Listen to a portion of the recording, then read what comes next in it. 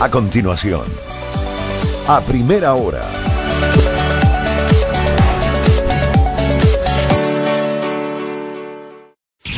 El siguiente programa tiene clasificación A, apta para todo público. Contenido, opinión y informativo. Las opiniones vertidas en este programa son de exclusiva responsabilidad de sus periodistas y entrevistados. Majestad FM respeta la libertad de expresión con responsabilidad. Majestad FM presenta a primera hora un recorrido informativo por los hechos más importantes del Ecuador y el mundo. Majestad FM presenta a primera hora un recorrido informativo por los hechos más importantes del Ecuador y el mundo. Y la opinión fresca, diversa y plural. Al aire. Los contertulios Fabricio Vela y Alexis Moncayo. Bienvenidos. A continuación, a primera hora.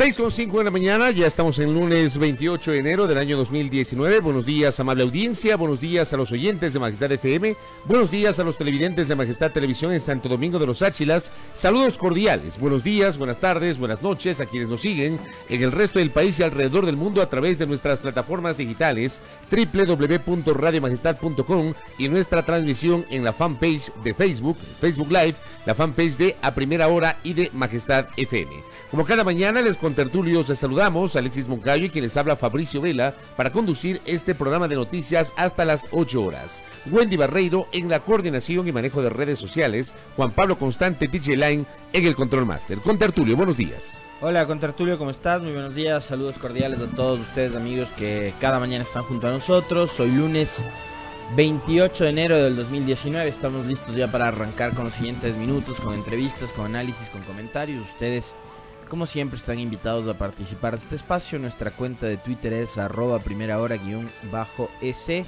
Y también pues están invitados a seguir esta transmisión por eh, nuestras distintas frecuencias eh, de la Soberana del Aire Max FM y también a través de redes sociales. Estamos en el Facebook con nuestra fanpage y la transmisión en vivo.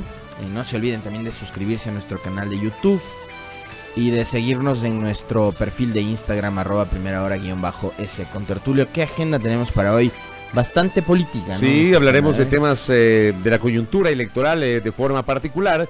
Estará con nosotros José Cabrera, vocal del Consejo Nacional Electoral. Con él estaremos hablando sobre algunos eh, detalles de estos digamos, eh, preparativos de cara al inicio de la campaña política para el próximo 5 de febrero. El martes de la próxima semana comienza ya formalmente la campaña electoral. También estará con nosotros el doctor Joaquín Viteri, presidente del Tribunal Contencioso Electoral, debido a que el viernes, justo cuando se terminaba este programa de noticias, pudimos confirmar eh, una decisión del Tribunal Contencioso Electoral de habilitar la candidatura del ex asambleísta Galo Lara por la Sociedad Patriótica para la Prefectura de la Provincia de Los Ríos. Vamos a conocer cuáles son los argumentos en derecho que eh, valoró el Tribunal Contencioso Electoral para en función de sus cinco jueces, tres votos a favor, dos votos salvados en contra, viabilizar la candidatura del exasambleísta Galo Lara. Y claro, otros temas relacionados con el juzgamiento de infracciones y delitos electorales. Y abriremos nuestra ronda de entrevistas dialogando con Alexandra Ocles,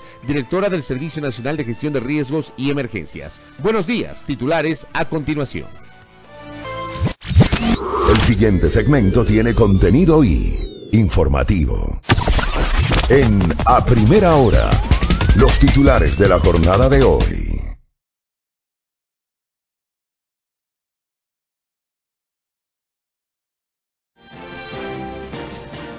6 de la mañana con 8 minutos. Atención, perito sobre el tema mascarilla. Dice, policía de mascarilla se extralimitó en el uso de la fuerza. Por la vía legislativa se busca derogar el denominado impuesto verde. El Consejo de Participación Transitorio todavía tiene concursos en proceso. Nueva judicatura con la misión de reinstitucionalizar la función judicial. Consejo Nacional Electoral haya indicios de narcolavado. Y venezolanos desde el sábado deben presentar obligatoriamente el pasado judicial apostillado para ingresar al Ecuador. Ecuador. 6,9.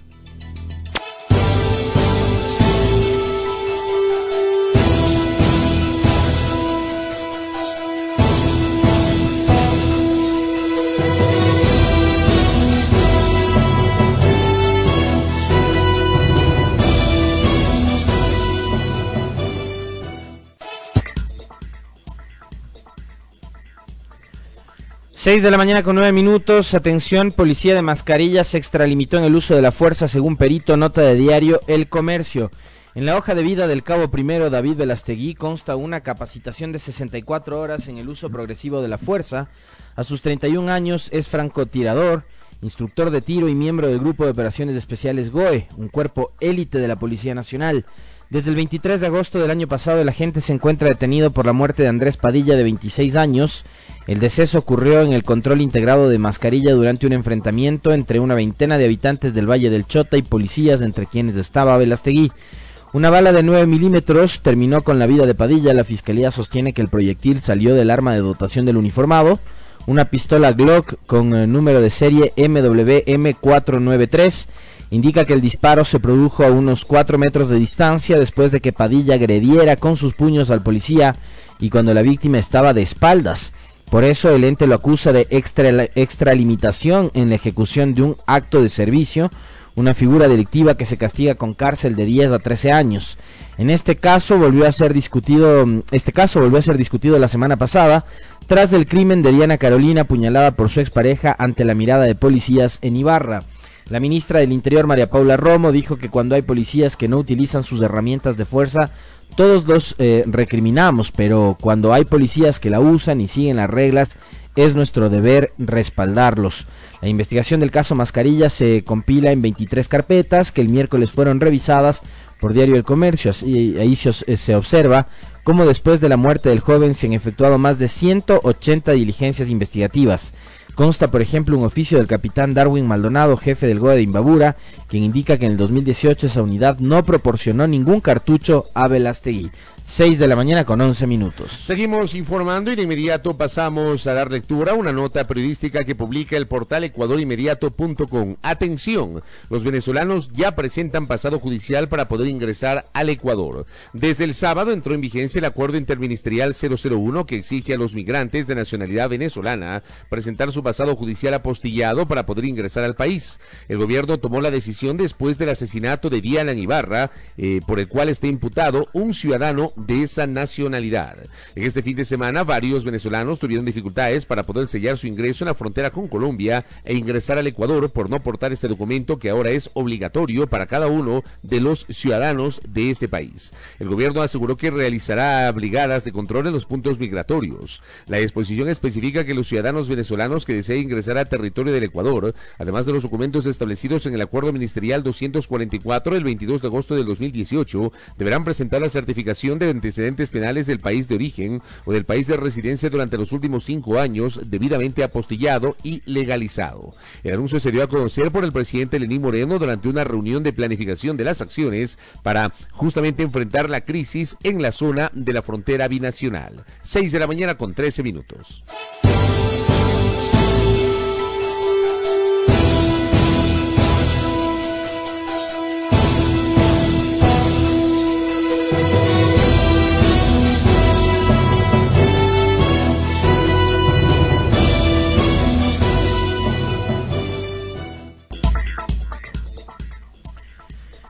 6 de la mañana con 13 minutos. Atención, nueva judicatura con la misión de reinstitucionalizar la función judicial. Nota de diario La Hora. Mañana ante el Pleno de la Asamblea se posesionarán los nuevos vocales del Consejo de la Judicatura, quienes durarán seis años de sus funciones. El abogado en libre ejercicio Fausto Vázquez y el constitucionalista José Chalco consideran que las nuevas autoridades tienen la misión de generar confianza en una institución que en el pasado fue señalada de responder a intereses políticos. Chalco recordó que la judicatura es un órgano fundamental en la administración de justicia. En relación de su coordinación, donde agrega la judicatura de transición, pudo hacer muy poco, por lo que la misión de las autoridades designadas es lograr que el Poder Judicial logre su verdadera autonomía, su independencia interna y externa. Debemos recordar que la función judicial ha sido una de las que más ha adolecido de falta de independencia en los últimos años. El antiguo Consejo de la Judicatura estuvo acostumbrado a generar resoluciones contrarias al derecho que iban más allá de la ley. Dijo Chalco, por eso considera que el trabajo será el de reinstitucionalizar la función judicial.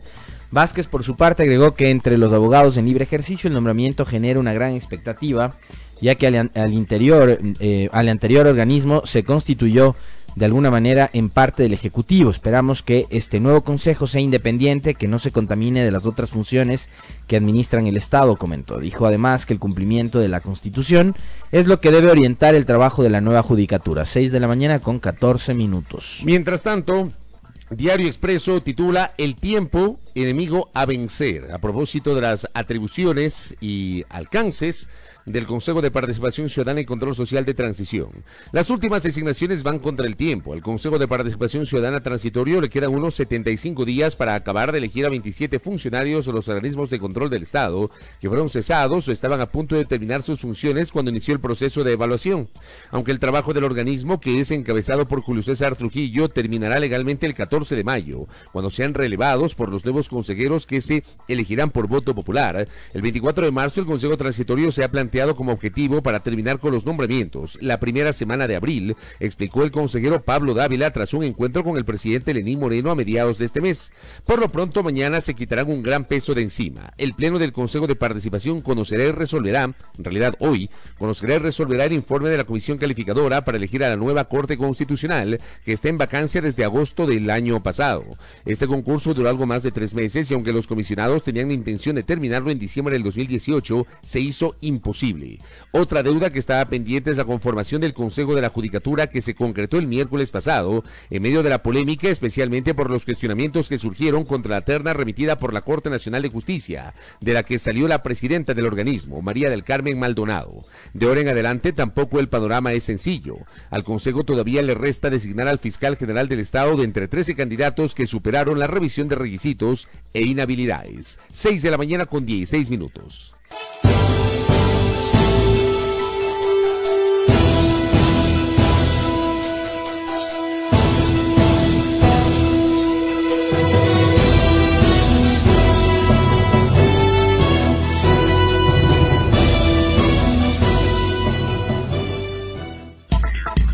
Seis de la mañana con 16 minutos. Por vía legislativa se busca derogar el impuesto verde. Nota de diario El Universo. A los ocho años de vigencia en la Asamblea Nacional, creo, el Partido Social Cristiano y el BIN buscan la forma de derogar el impuesto verde que se incluye en la Ley de Fomento Ambiental y Optimización de los Ingresos del Estado. Para ello se presentó el proyecto con 25 firmas de respaldo. Alianza País aspira a que sea el Ejecutivo el que plantee ese cambio en un proyecto urgente, pues sostiene que el Legislativo no puede reformar o derogar una ley que modifique o suprime impuestos. Esa es la tesis del presidente de la Comisión de Desarrollo Económico, Esteban Albornoz, quien recibió la semana pasada al director del Servicio de Rentas Internas y al colectivo Fuera Impuesto Verde. Suma, según Héctor Yepes, apuesta, mm, eh, Héctor Muñoz, perdón, apuesta a un punto intermedio que se haga un análisis para evitar la afectación al sector productivo, pero al mismo tiempo haya una contribución para proteger el ambiente. Por este impuesto el Estado ha recibido desde que se, implementó entre 95 millones el 2012 hasta 154 millones en el 2018 para aplicar este impuesto. El gobierno de Rafael Correa esgrimió em, que para desincentivar las prácticas contaminantes bajo el principio de que quien contamina paga. El impuesto está dirigido a los carros que más contaminan, que son los de más alto cilindraje, la estructura tributaria Sí, me perdió el texto con Tertulio. Increíble. A ver, por acá está. La estructura tributaria proponía incentivar la compra de vehículos híbridos de bajo cilindraje. Este tributo no podía... Mm, otra vez, ¿qué le pasa a esta página del universo? es que tiene una, una publicidad. Este tributo no podría ser mayor del 40% del avalúo del automotor y su aplicación era progresiva. 6 de la mañana con 18 minutos. Vamos a finalizar este bloque de noticias nacionales dando lectura a una nota que publica Diario El Telégrafo. Consejo Electoral hay indicios de narco lavado. Un equipo del CNE se desplazó a Esmeraldas para verificar denuncias sobre la presencia de dineros ilícitos en las campañas de los candidatos locales. El rumor de que candidatos locales estarían recibiendo dineros del narcotráfico para financiar campañas políticas movió una brigada del CNE que estuvo varios días en los cantones de Esmeraldas, cercanos a la frontera con Colombia. El consejero Luis Verde Soto comentó que hallaron indicios de la penetración del dinero de las mafias, posiblemente colombianas, que están viendo organizaciones políticas como fuente para camuflar su dinero ilícito. Una de las modalidades que verificaron es la organización de rifas a favor de líderes locales, con premios como electrodomésticos o automóviles, lo cual no se justifica con el precio bajo del boleto, dijo Verde Soto. El consejero comentó que esta es una práctica para lavar dinero y que estaría aplicando en otras eh, zonas del país. Otras pistas corroboradas que habrían obras públicas financiadas con recursos privados, como la construcción de caminos y carreteras. 6 con 19 en la primera hora.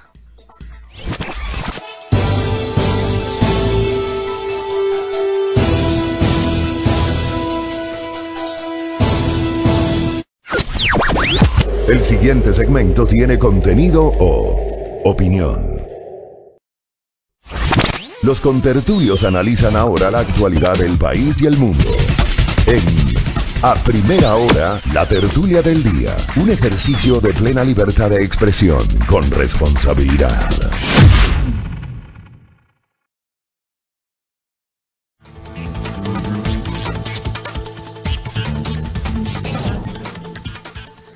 Muy bien, 6 de la mañana con 20 minutos, listos ya aquí para comenzar con la tertulia, gracias a los oyentes que se han unido, ya tenemos ahí nuestra eh, nuestro reporte de sintonía de quienes muy temprano en la mañana se levantan y escuchan la señal de Majestad FM y obviamente de el informativo a primera hora. Eh, déjeme con Tertulio simplemente enviar eh, un saludo.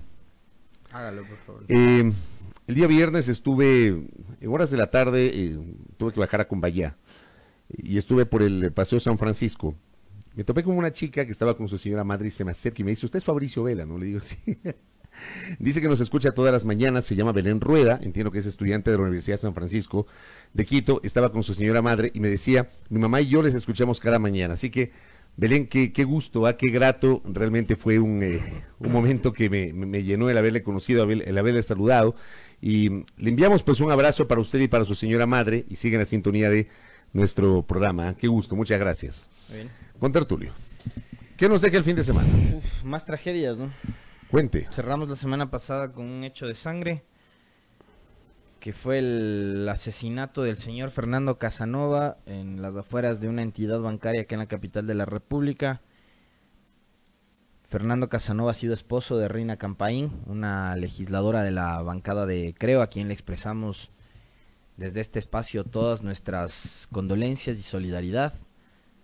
Una, legisladora que en un par de ocasiones ha estado aquí con nosotros, eh, invitada a, las entrevistas. Eh, digo, y esto da muestra del momento que estamos viviendo en el país, la inseguridad no da tregua. Eh, creo que ya hay que tomárselo en serio, ¿no? Más allá de las meras estadísticas de este tema.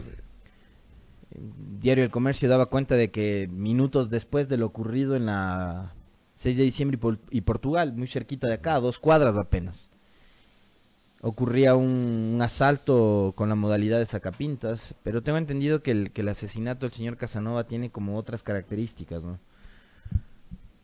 Pero bueno, o sea, finalmente lo que, lo que da cuenta el hecho este es que eh, la delincuencia y el crimen eh, no dan tregua, de que no son solo percepciones o meras estadísticas, sino que hay un hecho real, que es el, tema de la violencia y cómo nos estamos a ratos dejando ganar por el miedo. Y, yo sí quisiera, digo, elevar una consulta, ¿no? ¿Qué están haciendo las autoridades nacionales para frenar a los delincuentes? yo me preguntaba, y sí, digamos, las circunstancias son distintas, pero son cosas que indignan a la gente. Y yo me sumo a esa indignación. El día martes, y nosotros comentamos esto aquí el miércoles, el día martes cuando comparecía ante el Pleno de la Asamblea la señora ministra de Gobierno, fue acompañada de toda la cúpula policial y de todo el gabinete, incluido el, vicepresidente Sonnenholzner. La Asamblea amaneció ese martes cercada de policías. No había amenaza de nada, no había amenazas de manifestaciones, de marchas, de movilizaciones, de nada. Pero hasta el, eh, el helicóptero de aeropolicial estaba sobrevolando el Palacio Legislativo aquel día. Tenías tú un ejército de policías rodeando el Palacio Legislativo, motorizados, con caballos. ¿Y la ciudadanía? Te pregunto. Y les pregunto a todos. ¿Y los planes de seguridad? O sea, acá, además, en esta zona donde ocurre el asesinato del señor Casanova, hace pocos, hace pocos días atrás recordamos un video que circuló en redes sociales de dos ciudadanos que eran abordados por delincuentes y eran filmados desde un vehículo. tomando en cuenta de que esta es una zona que ya se ha convertido en, en una zona de altísima peligrosidad porque tenemos bancos pegados casi el uno al otro y es una donde una zona donde por lo general siempre se arma tráfico y, estos estos delincuentes que se movilizan en motocicletas pueden hacer de las suyas. ¿Por qué, por ejemplo, la policía no ha elaborado un plan de seguridad? Y lo mismo debería ocurrir en las Naciones Unidas, donde también tienes tú instituciones financieras, una pegada a la otra. Partiendo de que no sabemos que existe ese plan de seguridad. No, yo no sé, por eso digo, pero, partamos de eso. pero hay un plan de seguridad, hay alguna... sería bueno saberlo, trabajo de inteligencia eh, por eso yo el otro día te decía, ya es momento de que empiecen a haber acciones más allá de, de las comparecencias ante los medios de comunicación para seguir hablando de todo el daño que nos hizo Correa y de todo lo mal que hizo el gobierno anterior, empezar a hablar de lo que se está haciendo ahora. ¿No? Porque ya lo de, lo de la semana pasada fue terrible. Súmenle lo de Diana Carolina la, la noche del, del sábado en Ibarra. Entonces, creo que es hora de exigirle explicaciones y respuestas a las autoridades. Mira, a propósito de lo que estás, tú estás señalando, hay que, me parece a mí, hacer una valoración de los hechos de las últimas dos o tres semanas, que creo que nos han dejado espeluznados. En apenas dos o tres semanas hemos, tenido, hemos eh, eh, asistido a observar, a presenciar cosas realmente espeluznantes. Partamos del incendio, el voraz incendio que acabó con la vida de 18 eh, personas que eran, entre comillas, pacientes de, entre comillas, una clínica de rehabilitación. Que entiendo tenía permisos, ¿ah? y aquí simplemente hago una, un, paréntesis. Como lamentablemente somos coyunturales, no todo el mundo le ha dado seguimiento a este tema. Inicialmente se dijo que era una clínica clandestina, que no tenía permisos, luego que sí que sí ha tenido permisos y que están investigando a los funcionarios que otorgaron esos permisos. Bueno, aquí como siempre, cuando ocurre una tragedia, enfrentas un lavatorio de manos, simplemente anuncios coyunturales para satisfacer a los medios y a la audiencia y para de contar y luego nos olvidamos. ¿Por qué? Porque luego viene otra cosa. Pero partamos de ese, de, ese hecho. 18 fallecidos por el incendio de una clínica de rehabilitación. La violación grupal sobre Marta. El femicidio, yo lo llamo femicidio, más allá de que ese es el, delito que deberá ser, eh, digamos, valorado por parte de la autoridad judicial. Femicidio contra Diana hay dos hechos que también han llamado la atención, pero que no han tenido con tertulia el mismo impacto mediático. En Guayaquil, una mujer, el cuerpo de una mujer fue encontrada oculto en una maleta. En Guayaquil, el cadáver de una mujer, en posición fetal, había sido escondido en una maleta. ¿La que fue asesinada por su propia hermana? Ese. En, eh, en Ayuriquín, aparece el cuerpo de una mujer que había desaparecido hace algunos días. Resulta que el cuerpo de, esta persona aparece en Ayuriquín en tres fundas. O sea, la mataron y la cortaron, la cercenaron y dividieron su cuerpo inerte en tres fundas. Yo de estos dos últimos hechos pregunto, ¿nos hemos espeluznado sobre aquello? ¿Hemos hablado sobre aquello?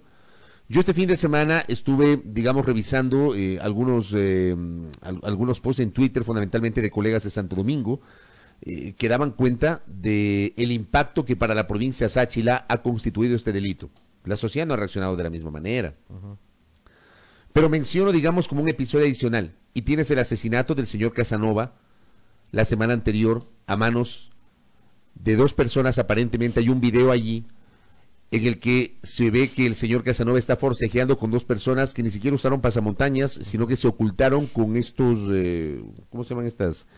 Eh, estos que utilizan los médicos eh, a nivel quirúrgico, ¿no? En las operaciones. Mascarillas. Las mascarillas. No, no sales. No vos sales, como dijo algún colega. Las mascarillas. Se me viene a la mente eso. No vos sales, sino mascarillas.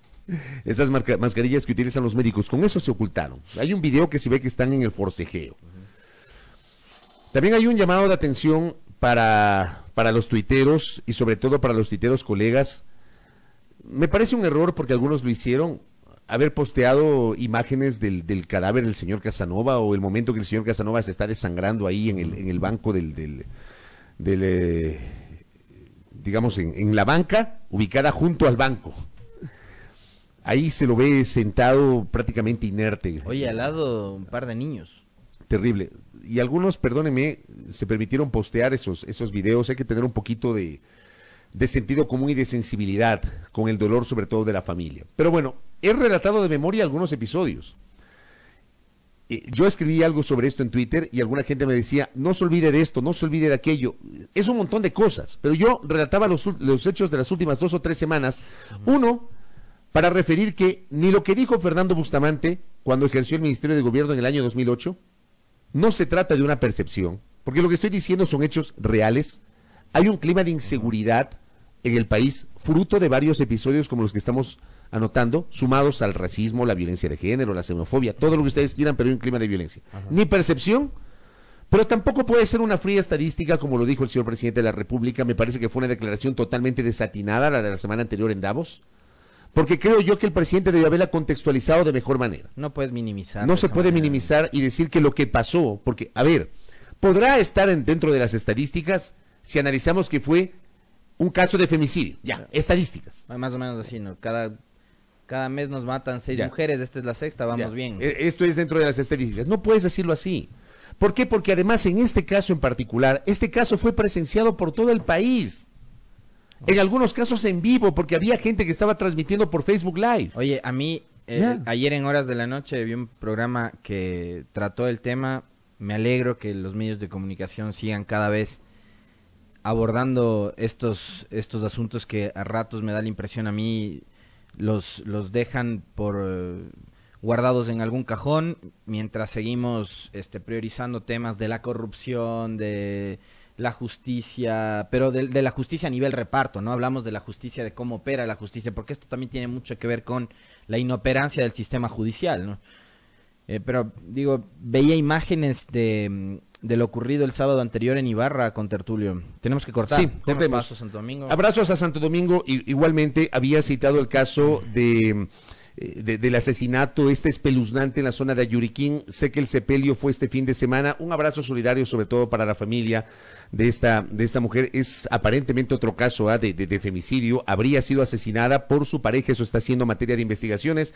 Pero bueno, enviamos un abrazo a su familia y a toda la comunidad de Santo Domingo. Buen inicio de semana y sigan en sintonía de Majestad Televisión. Ya están listos los compañeros de informativo. No se olviden que la retransmisión de este espacio lo podrán eh, observar en el curso de esta jornada, pues en la señal de Majestad TV. Buenos días, Santo Domingo. Adelante.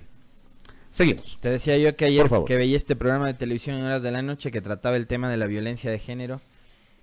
Pasaban más imágenes que yo, por ejemplo, no había visto del tema del sábado anterior en Ibarra, eh, donde le graban de espaldas a este sujeto, mientras le tenía este, abrazada a, Diana y amenazada con, con, con un cuchillo. Y yo hasta ahora no entiendo cómo es que alguien por atrás no logró de neutralizarlo, no logró este amordazarlo. no, entiendo, no, entiendo. Y algo que decía una de las panelistas de este programa de televisión ayer en horas de la noche es eh, cómo en 90 minutos eh, la, la, misma Policía Nacional no puso un negociador a, conversar con este sujeto y más bien dejaron que, eh, digamos, los ánimos también que estaban calientes de la gente que rodeaba este acontecimiento eh, ganen eh, en los nervios de los policías que no sabían qué hacer, porque es evidente que no tenían idea de qué hacer, y los nervios del, del asesino que lo único que atinó a hacer fue a, a propinarle las, las, las, puñaladas a Diana Carolina que acabaron con su vida, ¿no? Entonces, eh, yo sigo impresionado de, de la falta de, de preparación, de, de, de, los agentes que estuvieron ese día ahí y, la pasividad también de la sociedad para ver aquello. Ya, pero yo te digo una cosa porque creo que también eh, hay que analizar otro elemento. Eh, yo no sé cuáles son los policías que estuvieron allí. Eh, entiendo yo que son los policías que hacen el habitual servicio público. No tengo información de que para enfrentar esta crisis, ojo, tú bien citabas, fueron 90 minutos, una hora y media, tiempo suficiente para llamar a las, a las, a las fuerzas de élite de la Policía Nacional. Oye, era un tipo con un cuchillo, no era un tipo con una bomba. Pero digamos, si ves eso y ves que la situación desborda, llama al giro al GOE. No sé, pues, o sea, yo realmente no sé cómo, cuáles son los procedimientos, pero digo, desde el sentido común, llamen al giro y al GOE. El grupo de operaciones especiales y el grupo de intervención y rescate son las fuerzas especializadas de la Policía Nacional. Yo el otro día que tú compartiste, alguien puso ahí el supuesto entrenamiento de gente del GIR. Yo sí tengo constancia de que en el GIR y en el GOE hay unas, hay unas, eh, hay una suerte de rigurosidad. Son muy rigurosos para la capacitación de su gente. Por eso son las fuerzas de élite de la Policía Nacional. No se puede mezclar que, ah, la policía no actuó porque esa es la forma del entrenar, de, entrenamiento. No es así. Para el GIR y para el GOE es un entrenamiento especializado, totalmente diferente. De lo que yo sé, no hubo presencia de gente del GIR ni del GOE para enfrentar esta crisis, porque, como bien tú lo anotabas, era un tipo con un cuchillo. Y probablemente minimizaron el hecho. O pensaron que no iba a pasar nada. Ya, entonces, hagamos de cuenta de que no era gente del GIR y del GOE. Ya. Ok. Digo. Eran policías. En manos de esos policías está la seguridad de todo Ibarra. Y no solo de todo Ibarra, del país. O sea, porque además no estamos circunscribiendo a un solo hecho. Un tipo con un cuchillo. A, un solo hecho, ¿por qué? ¿por qué no circunscribimos? Porque fue mediático.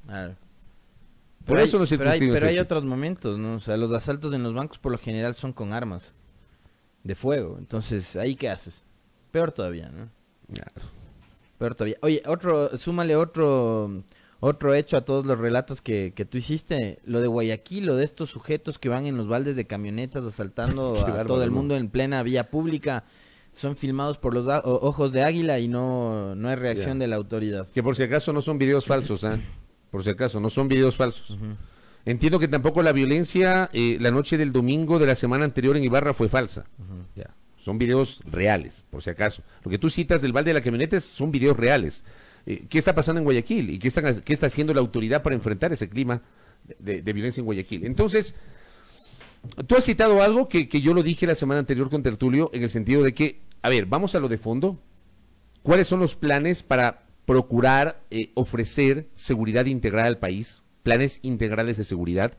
Creo yo que la cosa no basta con el discurso, no basta con la solidaridad, no basta con expresar el dolor, la concertación, etcétera, no basta con eso. Vamos a lo de fondo.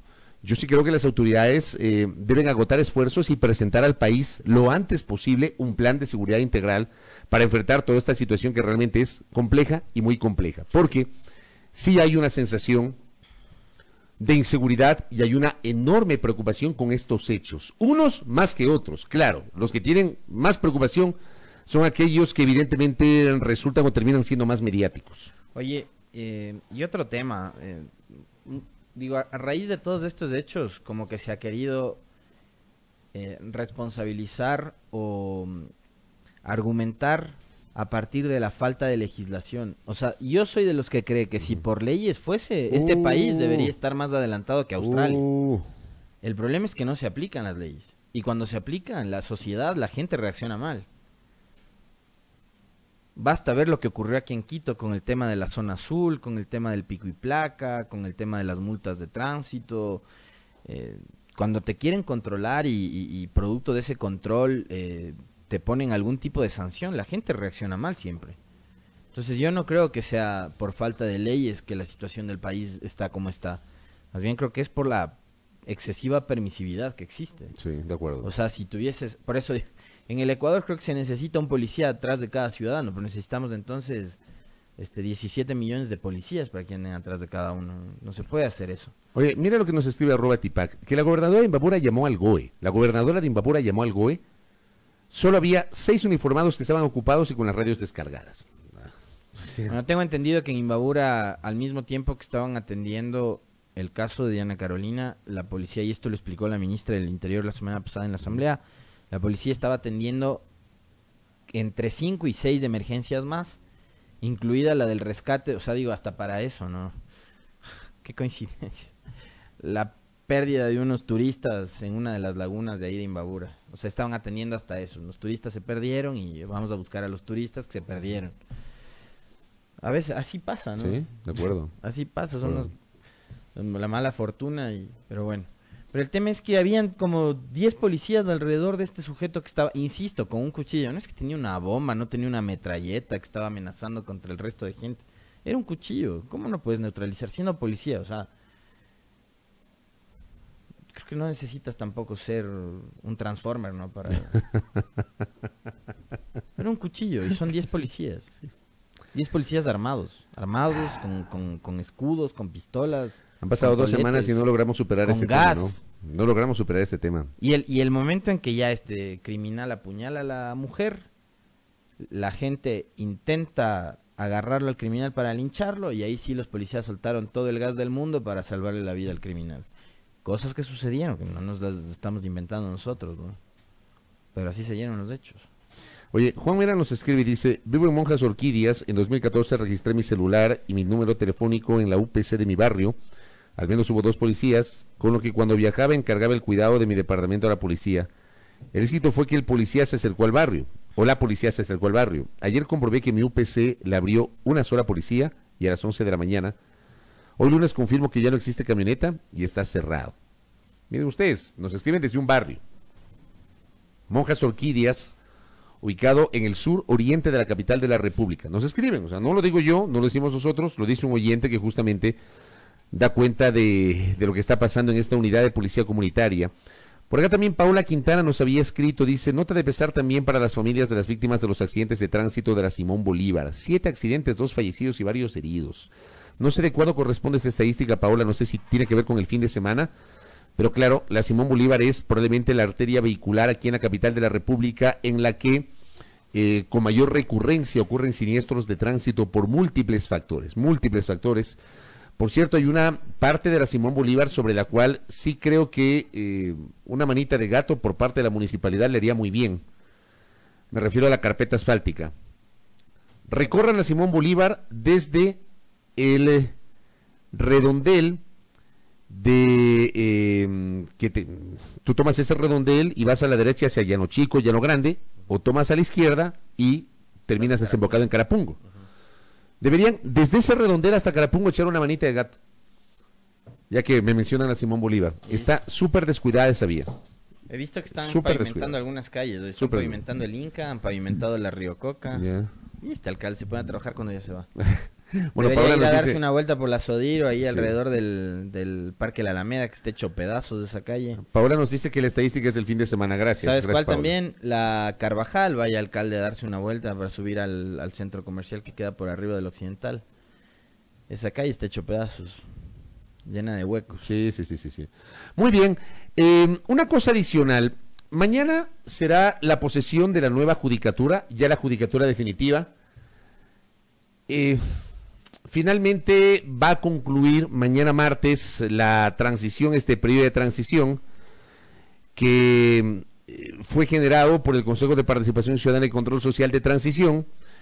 Una transición que no ha estado alejada de la controversia, una judicatura que desde mi particular punto de vista ha dejado mucho que desear. Para mí en lo personal, y es una crítica, y lo voy a decir con toda la frontalidad del caso, para mí la actual judicatura ha sido una completa decepción, la actual judicatura. Esta judicatura de transición sobre la cual en lo personal igual, hablo a título personal, eh, yo tenía muchísimas expectativas. eh, yo pensé que esta judicatura iba a marcar una diferencia sustancial respecto de lo que ellos mismos y sus mentores criticaron de la judicatura anterior. Y me permito decirles con todo respeto, esta judicatura no fue mejor que la judicatura anterior, no fue mejor. Eh, me impresiona, por ejemplo, que algunos de los escándalos con tertulio asociados a esta judicatura de transición no hayan sido lo suficientemente sostenidos a nivel mediático y a nivel público. El ejemplo probablemente más palpable y a la vez más patético es la difusión de ese audio de la eh, de, esta discusión entre el ex integrante de esa judicatura, Juan Pablo Albán, Alen Castro, y el actual vicepresidente de esa judicatura, el doctor Aquiles Rigael Santisteban, que para mí era escandaloso y para mí ese audio debió haber sido prueba suficiente para que esta judicatura de transición renuncie. Si no todos, por lo menos los involucrados. Ojo, Pero no hubo... el la- doctor Albán renunció porque ese era su compromiso Y yo sí creo que el doctor Albán actuó con base en sus convicciones de siempre. Sí, pero, pero mira, tú, yo partiría de ese hecho, más allá de que yo no le yo no le mm, achaco absolutamente nada al doctor Juan Pablo Albán porque me parece que es un tipo sumamente decente. Pero creo que partiendo de la decencia que le caracteriza al doctor Albán, si sabía que no podía concluir el periodo, no tenía que haber aceptado. Él había alertado que no iba a poder pero no tenía que haber aceptado. Si ya tenía asumido un compromiso académico en el exterior, creo que él tenía que haber argumentado aquello y tenía que haberse eh, hecho a un, costado. Pero sí, como tú dices, eh, será porque eh, porque tienen prensa a su favor, como en todo. Yo he visto ahora que así como, como algún sector de la prensa le escandalizaron los, los eventos de corrupción vinculados a un partido X antes, ahora esa prensa es trinchera y es tribuna, barra brava de otros legisladores que están inmiscuidos en los mismos escándalos. Pues a mí no me sorprende. Pues que sigan nomás haciendo barra y que sigan nomás militando a favor de unos y en contra de otros. Así funciona aquí en este país. Bueno, uno de los últimos episodios, eh, creo yo, polémicos asociados a la judicatura que ya se va mañana, eh, lo escribía el jurista Felipe Rodríguez este fin de semana. Decía Felipe Rodríguez, es momento de contar la verdad sobre el caso de Mayra Soria. Mayra Soria es a nivel nacional la fiscal que más ha luchado y más resultados ha obtenido en la lucha contra la violencia sexual y de género, especialmente contra niños y adolescentes. Resulta que resulta ser que también es la única fiscal que logró resultados en el caso de Juliana Campoverde, caso que no, no tiene mayor prensa, ojo. Pese a las poderosas presiones de grupos evangélicos. Pero bueno, el pastor evangélico ya confesó, la audiencia de ese caso está prevista para la primera semana de febrero de este año. Un individuo que deberá ser identificado pasó todo enero haciendo lobbying en el Consejo de la Judicatura para conseguir esta ilegal suspensión de 30 días. La fiscal Soria fue suspendida y lo logró. ¿Pero para qué? Para que Mayra Soria no pueda asistir a la audiencia de Juliana Campoverde y ese es el fondo. Todos clamamos por una justicia independiente, prueba honesta. Para eso necesitamos más fiscales como Mayra Soria, pero en nuestras narices, en la última sesión del Pleno del Consejo de la Judicatura, se despiden cumpliendo la negociada encomienda, suspendiéndola ilegalmente. ¿Quién estará detrás de la salida de la fiscal? De la fiscal Soria. Sobre esto mismo, la colega periodista María Belén Arroyo, de Revista Vistazo y de Código Vidrio, había advertido, sin el compromiso de la fiscal Mayra Soria, el espeluznante caso de violación a 41 niños y niñas en un plantel de Quito, Ampetra, no hubiese llegado hasta la sentencia que implicó la reparación simbólica y la recuperación de la libertad. ¿Cuántos se escandalizan de lo que acabamos de dar lectura? ¿Cuántos? Cuando tienes actuaciones de la actual judicatura que dejan mucho que desear, que no tienen presentación y que no tienen explicación. Suspendes a una fiscal que se entiende está haciendo su trabajo. ¿Y cuál es el argumento de la judicatura que tiene las atribuciones? Claro que tiene las atribuciones. Pero creo que sí, me parece en estos, este tipo de casos hay que ser un poquito prácticos, por lo menos. Y no pretender de venderle al país la idea de que se está combatiendo la corrupción y que le quieres garantizar una justicia rápida, oportuna, imparcial, honesta, transparente, cuando en el fondo no lo es y no lo haces. Yo insisto, de esto también se debería hablar. Y no deberíamos perder desde los medios y desde nuestro rol de periodistas la capacidad de criticar, que no es lo mismo que insultar u ofender como lo hacen algunos. No podemos perder la criticidad. Lamentablemente ocurre, no pasa con todos, ocurre y no podemos perder la perspectiva. Así se va la judicatura de transición el día de mañana con tertulia. Me imagino que por la puerta grande para algunos, ¿no? Ah, porque, porque debe haber cumplido con las consignas que llegaron desde luego. Algunitos. Desde luego. para algunos se va a ir por la puerta grande. Así mismo. Oye, nos están escuchando en el bloque 43 del ITT de Luis Cano. Le mandamos un abrazo. A mí me encanta cuando nos escriben desde lugares... Es la magia del Face. Que, no, que no, a donde no llegamos con nuestras frecuencias en el país. O sea, hay gente que nos escucha como Alexis del Tocayo en, en Kazán, Rusia. Hay otras personas que están en, en, en el norte de América como la Gaby Herrera y otros oyentes más que están en alrededor del mundo. Pero acá en el país, que nos escuchen en el ITT por Facebook, es para mí fantástico. Es sensacional, ¿eh? claro, sensacional. Así que le mandamos un abrazo a Luis. Igualmente nos sumamos a aquello. Vamos a la pausa. Por acá dicen excelente, barras bravas, nos dice César Armando Bermeo al contertulio. Pausa y volvemos ya para el diálogo con Alexandra Ocles, quien es la directora del Servicio Nacional de Gestión de Riesgos. Volvemos.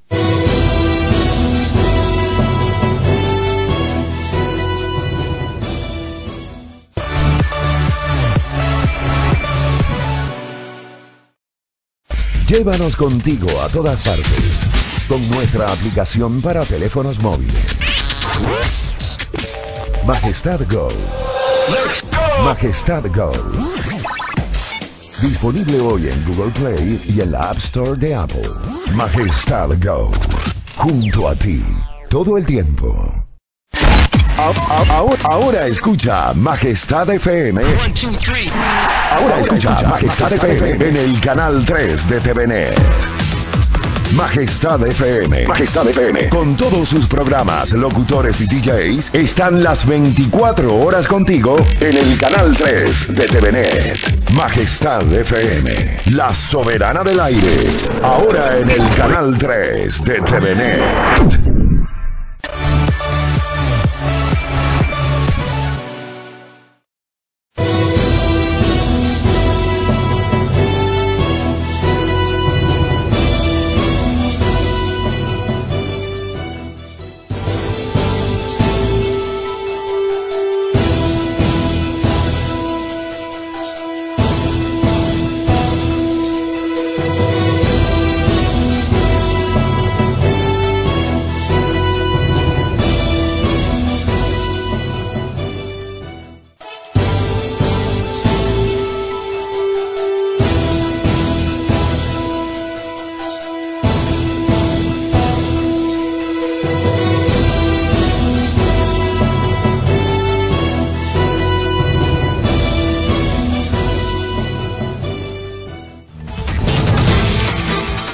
6 con 50, por acá también me dicen con Tertulio que no nos olvidemos de Guayaquil, ¿ah? Pichi Escudero nos dice desde Guayaquil también. Claro, en Guayaquil. Saludos a la Perla del Pacífico, nos permite llegar la transmisión del Facebook Live y también la posibilidad de lanzarnos a través de www.radiomajestad.com, nuestra plataforma digital, para que ustedes puedan escucharnos y también interactuar con nosotros. Sus críticas, sus comentarios, sus aportes siempre son bienvenidos. Eh, Fabián Tapia nos decía rápidamente eh, favor comentar estos dos hechos remarcables. Uno, denuncias de corrupción en Arcotel. Vamos a procurar eh, invitar en estos días al nuevo director ejecutivo de Arcotel, la Agencia de Regulación y Control de las Telecomunicaciones, que en apenas una o dos semanas tuvo como tres o cuatro directores ejecutivos, una cosa de locos. Y la habilitación del Tribunal Contencioso Electoral ha sentenciado con prelibertad para que sea candidato. De eso vamos a hablar a las siete y media de la mañana. Estará aquí en nuestra mesa de trabajo el doctor Joaquín Viteri, quien es el presidente del Tribunal Contencioso Electoral, para explicarnos cuál fue el argumento en derecho por el cual el eh, Tribunal Contencioso Electoral decidió echar abajo una primera decisión del Consejo Nacional Electoral que fue no calificar la candidatura de Lara Lara presentó el recurso jurídico correspondiente que fue elevado a conocimiento del Tribunal Contencioso Electoral y este organismo decidió fallar, eh, digamos, a favor de Lara y calificar su candidatura. Si a mí me preguntan, y esto es una posición que nosotros lo manejamos hace semanas, solamente leyendo la Constitución, uno podría determinar que eh, Galo Lara no podía ser candidato porque él no ha cumplido todavía con su sentencia, él sigue cumpliendo con su sentencia y lo que está gozando es de un eh, un beneficio porque ya cumplió con el 40% de esa sentencia, que es la prelibertad. La prelibertad no significa que la pena se ha extinguido porque la pena se sigue cumpliendo. Pero de esto vamos, insisto, a hablar más adelante con el doctor Joaquín Viteri. Recibimos en nuestra mesa de trabajo a Alexandra Ocles, ella es la directora nacional del Servicio de, eh, de Gestión de Riesgos, lo que antes era la Secretaría Nacional de Gestión de Riesgos. Hubo ahí una modificación y en su momento la ministra eh, tuvo la gentileza de explicarnos. Le hemos invitado hoy para hablar de algunos temas y particularmente de las acciones que su cartera de Estado está desarrollando. ¿Cómo le va? Bienvenida, buenos días. Bienvenida, Alexis, siempre un gusto. Muy bien. Eh, para este 31 de enero está previsto eh, una acción que son simulacros en eh, varias provincias del país, particularmente y mucho ojo a las provincias de la costa ecuatoriana, Manaví, Esmeralda, Santa Elena, Guayas, El Oro y Galápagos, y los 28 cantones ubicados en el perfil costero. Coméntenos un poquito de detalles de esta acción en la cual está trabajando su cartera de Estado. Gracias, Fabricio. Eh, un saludo cordial a todos los ciudadanos. Efectivamente, cada 31 de enero, en el marco de conmemorar eh, el tsunami que en, 1906 se diera aquí en el país, es, principalmente las costas de, Esmeraldas, creemos que esta es una fecha que nos permite ir eh, educándonos y autoeducándonos en torno a lo que significa la gestión de riesgos y sobre todo a lo que significa estar prevenidos frente em, a un evento peligroso como puede ser un tsunami. por las condiciones y la magnitud que, este evento eh, tiene. En esa circunstancia, el año anterior habíamos hecho igual este mismo ejercicio solo en dos provincias, lo hicimos en Manabí y Esmeraldas. Tuvimos un alcance y una movilización aproximadamente de 100 mil personas. Lo fuerte de este, de este evento el año anterior fue precisamente que la ciudadanía dejó su casa y salió, eh, recorrió las, ah, las rutas seguras, llegó a los puntos de encuentro y eso fue lo importante. En este año hemos eh, crecido, aumentamos, como se decía, el número de provincias y también el número de cantones que estarán participando.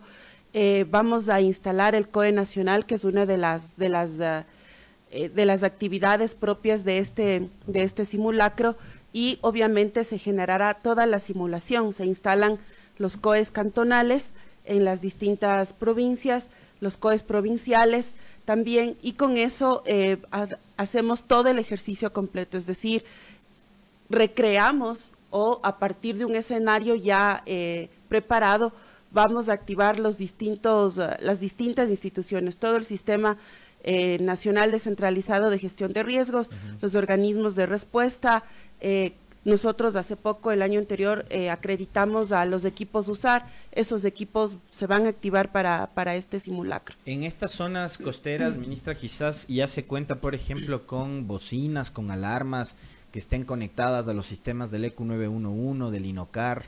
Tenemos, eh, hasta ahora en la primera fase del SAT Tsunami, se instalaron aproximadamente 100 alarmas. Esas alarmas van a, van, a, van a sonar, se van a activar obviamente, pero en el resto del perfil eh, costero también estamos trabajando ya para la segunda fase. Pero para esta ocasión eh, se van a activar las alarmas de cuerpos de bomberos, eh, de Policía Nacional, las alarmas comunitarias para dar cuenta del inicio del ejercicio. Es en estos casos, yo, yo me he encontrado algunas veces con quizás el poco interés que puede existir de la ciudadanía, porque la, la, gente a veces dice, pero estas cosas no pasan nunca, no va a pasar, no va a ocurrir. Quizás ese, esa mentalidad pudo haber cambiado a raíz del terremoto de 2016. ¿Hay más predisposición y colaboración de la gente? Con certeza, Alexis. Creo que ha habido, eh, obviamente, cuando estos eventos nos sacuden la vida, y, nos estremecen, eh, hay una actitud que cambia en la gente. Qué pena que sea después de un evento como, como fue el terremoto de, abril. Antes no lo vivieron o tal vez minimizan. Claro, pero eh, creo que ha sido importante el hecho de eh, haber visto cómo la gente poco a poco se va inmiscuyendo en el tema, el mismo hecho de que hayan la participación en los comités comunitarios de gestión de riesgos permite que la comunidad se organice, se active, se prepare y eso para nosotros ha sido importante. Uno de los temas que en esta ocasión estaremos eh, realizando también, una de las actividades es la evacuación vertical, es decir, en edificios hacia, hacia arriba, eh, que es también parte de lo que em, algunas ciudades hacen hacen parte de un proyecto piloto con JICA y en ese y en ese sentido van a estar haciendo esa evacuación vertical. Ahora, eh, yo decía al inicio, esta, este simulacro se va a concentrar en Esmeraldas, San Lorenzo, Río Verde, Muisne, Esmeraldas, Atacama, Cielo y Alfaro. Hablemos de San Lorenzo, por ejemplo, eh, o de Río Verde. ¿Cómo está la situación allá? Y, cito esto porque, a ver, la provincia de Esmeraldas es una provincia bien complicada, tiene obviamente sus, sus, particularidades, pero por ejemplo San Lorenzo tiene además otras complejidades. ¿Cómo se ha preparado allá justamente la población para enfrentar este simulacro? Eh, Fabricio, en cada uno de los municipios eh, a lo largo y ancho del país, se han creado las unidades de gestión de riesgos. Estas unidades que llevamos ya, em, si mal no recuerdo, 202, eh, son las que activan en el territorio. pero, esas unidades dependen de las municipalidades dependen de... las municipalidades, trabajan con, nosotros, así es, están articulados con nosotros, con ellos eh, avanzamos en la preparación eh, cantonal del propio ejercicio y obviamente en la coordinación con las distintas instituciones, con Policía Nacional, con Fuerzas Armadas. De hecho, en Esmeraldas, un lugar donde se va a instalar uno de los albergues es, em, el cuartel que está ahí en, en Esmeraldas. Por tanto, esta activación de todo el sistema, de todos los actores del sistema, permite obviamente que podamos ir viendo cuáles son los elementos que a futuro nos toca ajustar en el marco de los protocolos, pero también en la actividad cotidiana de ir eh, trabajando en la política de gestión de riesgos. Entonces, San Lorenzo, como otros, como Río Verde, que también eh, es otro cantón complicado, digamos, está, está preparado para poder responder ante, ante el ejercicio. Ahora, tecnológicamente, ministra, ¿cómo está preparado nuestro país? Es decir, el INOCAR cuenta con los equipos suficientes para monitorear eh, el tema de los tsunamis o la actividad eh, en, los océanos. Eh, ¿Es monitoreable? ¿Se puede predecir un tsunami a diferencia de lo que ocurre con otro tipo de desastres naturales o no? Yo diría, Alexis, que nuestros institutos técnicos científicos, los tres, el IGE, el INOCAR y el INAMI, aún con todas las limitaciones, han logrado hacer un trabajo importantísimo. El INOCAR en este caso está preparado, eh, continuamente nos reporta cuando hay sismos en otros lugares que son de alta magnitud que podrían generar eh, a veces de tsunamis. El INOCAR tiene toda la metodología y la tecnología para poder eh, informar oportunamente, en este caso, al Servicio Nacional de Gestión de Riesgos y a, las y a los actores que necesitan esa información para la toma de decisiones. Pero sí, hay una capacidad interesante tanto en, en, personal como también en equipos en cada uno de los institutos, aunque aún hacen falta eh, poder potencializarlos muchísimo más. Estos aguajes que, que vimos hace pocos días atrás eh, fueron una prueba interesante para ver qué tan eh, preparada está la población. Los, los de diciembre. Claro. Los de diciembre y ahora los, los, de, los de enero también. Digamos, creo que sí fueron una prueba interesante, pero creo que hay, un tema mayor que hay que, que hay que exponerlo y es que eh, los gobiernos autónomos descentralizados ojalá pudieran revisarse nuevamente la ley de ordenamiento territorial. Ese es un pedido que, que, siempre les hago, porque a partir de eso hay una serie de aspectos que son de competencias que tienen que asumirlos los ellos y no lo están haciendo. ¿Cómo tienen competencias, la demarcación, la demarcación de playas, ¿no es cierto? o sea, falta señalización. Sí, pero además los límites, porque ¿Qué pasó en SUA? En eh, Eso a decir, el caso de SUA El caso de SUA o el caso de Jambelí. En SUA usted tenía las covachitas de estas que si bien prestan un servicio turístico, son un emprendimiento, digamos, no resiste los embates del mar. No van a resistir. Por tanto, hay que demarcar el uso de playa y eso tiene otras connotaciones. Y ahí vamos a trabajar con, con la subsecretaría de puertos del MTO para poder hacer esta este trabajo. Y luego también está Jambelí. En Jambelí uno tiene así es a, a orilla del mar casas y también eh, infraestructura turística. Jambelí es una isla, ¿no? Y tenía un gran potencial eh, turístico. Yo conocí esa isla hace unos 24 años más o menos y tenía un gran potencial turístico y hoy prácticamente está perdido eso. Y tiene un gran potencial si es que de verdad, si es que de verdad se organiza y se trabaja adecuadamente en el ordenamiento territorial, también tomando las debidas precauciones, porque esto tiene que ver con la responsabilidad de salvar vidas, por tanto, hay que trabajar profundamente en que ese ordenamiento territorial se puede cumplir, en que la norma, hay el artículo 265 en el Código Ambiental que igual delimita el uso de las playas y eso se tiene que revisar. Digamos, hay que observar esa norma, hay que cumplirla, porque de lo contrario no hay dinero que alcance ni ni dinero privado, digamos, de los de los afectados, ni tampoco de cualquiera de los gobiernos eh, municipales o el central para poder continuamente reponer lo que esto va a pasar. Tomemos en cuenta que hay un proceso de cambio climático en nuestro país como en el, en el mundo entero y en ese sentido eh, es vital que podamos tomar las debidas precauciones y pasa también por la planificación Pero por ejemplo, de la ciudad. Por ejemplo, digamos, eh, después del terremoto del 16 de abril del 2016, ¿hubo municipalidades que aprendieron la lección y, por ejemplo, están eh, a tono con lo que usted acaba de señalar o no? Sí, Sí, sí, han habido municipalidades que aprendieron la lección. Pero Puerto Viejo, Puerto Viejo es una de ellas, no son todas. Para el resto, eh, todavía el tema es complejo, no se quiere entrar a discutir, porque también tiene una serie de, es decir, eh, hacer que nuestras construcciones en el país apliquen la, la, la norma, la NEC, la NEC 2015. Eso sería ya un gran paso. Si todas las municipalidades estuvieran a tono con este tema y pudieran promover el cumplimiento de la norma, podríamos evitarnos desastres eh, en cada una de nuestras ciudades por efectos de un, sismo, ¿no es cierto? Si no hacemos este trabajo de, cumplir con esa norma y de que la gente también entienda que implica un gran gasto. Yo vi ahora en septiembre, en el sismo de septiembre, en Cumandá, una casa de construcción mixta recién acabada, pero que en el sismo se destruyó, se reventó toda la, eh, la mampostería, se partió el umbral de la puerta, digamos, destruida, las gradas, y usted veía el material, las varillas de lo más delgaditas, es decir, es cierto que a veces uno quiere ahorrarse, pero por abaratar costos no puede poner en riesgo la vida de su familia cuando esa construcción no va a ser segura. Ahora, eso también tiene que ver con eh, la vigilancia que pueda ejercer la autoridad, pero también con la corresponsabilidad del ciudadano. Sin duda, Alexis, sin duda. Eso, ese es un tema en, el que nosotros insistimos profundamente. Lo hemos hecho ahora en, en, Chillanes, que fue uno de los cantones más afectados. pero pasa en la provincia de Bolívar, pero pasa en cualquiera de nuestros lugares. Es decir, hay un principio de corresponsabilidad. Por un lado, la autoridad que tiene que hacer cumplir la ley y por otro lado, el ciudadano que tiene que tomar todas las, las normas eh, previstas, por ejemplo, en torno a la construcción para evitar complicaciones más adelante. Tengo interacción de los oyentes en este diálogo con Alexandra Ocle Espadilla y es la directora del Servicio Nacional de Gestión de Riesgos.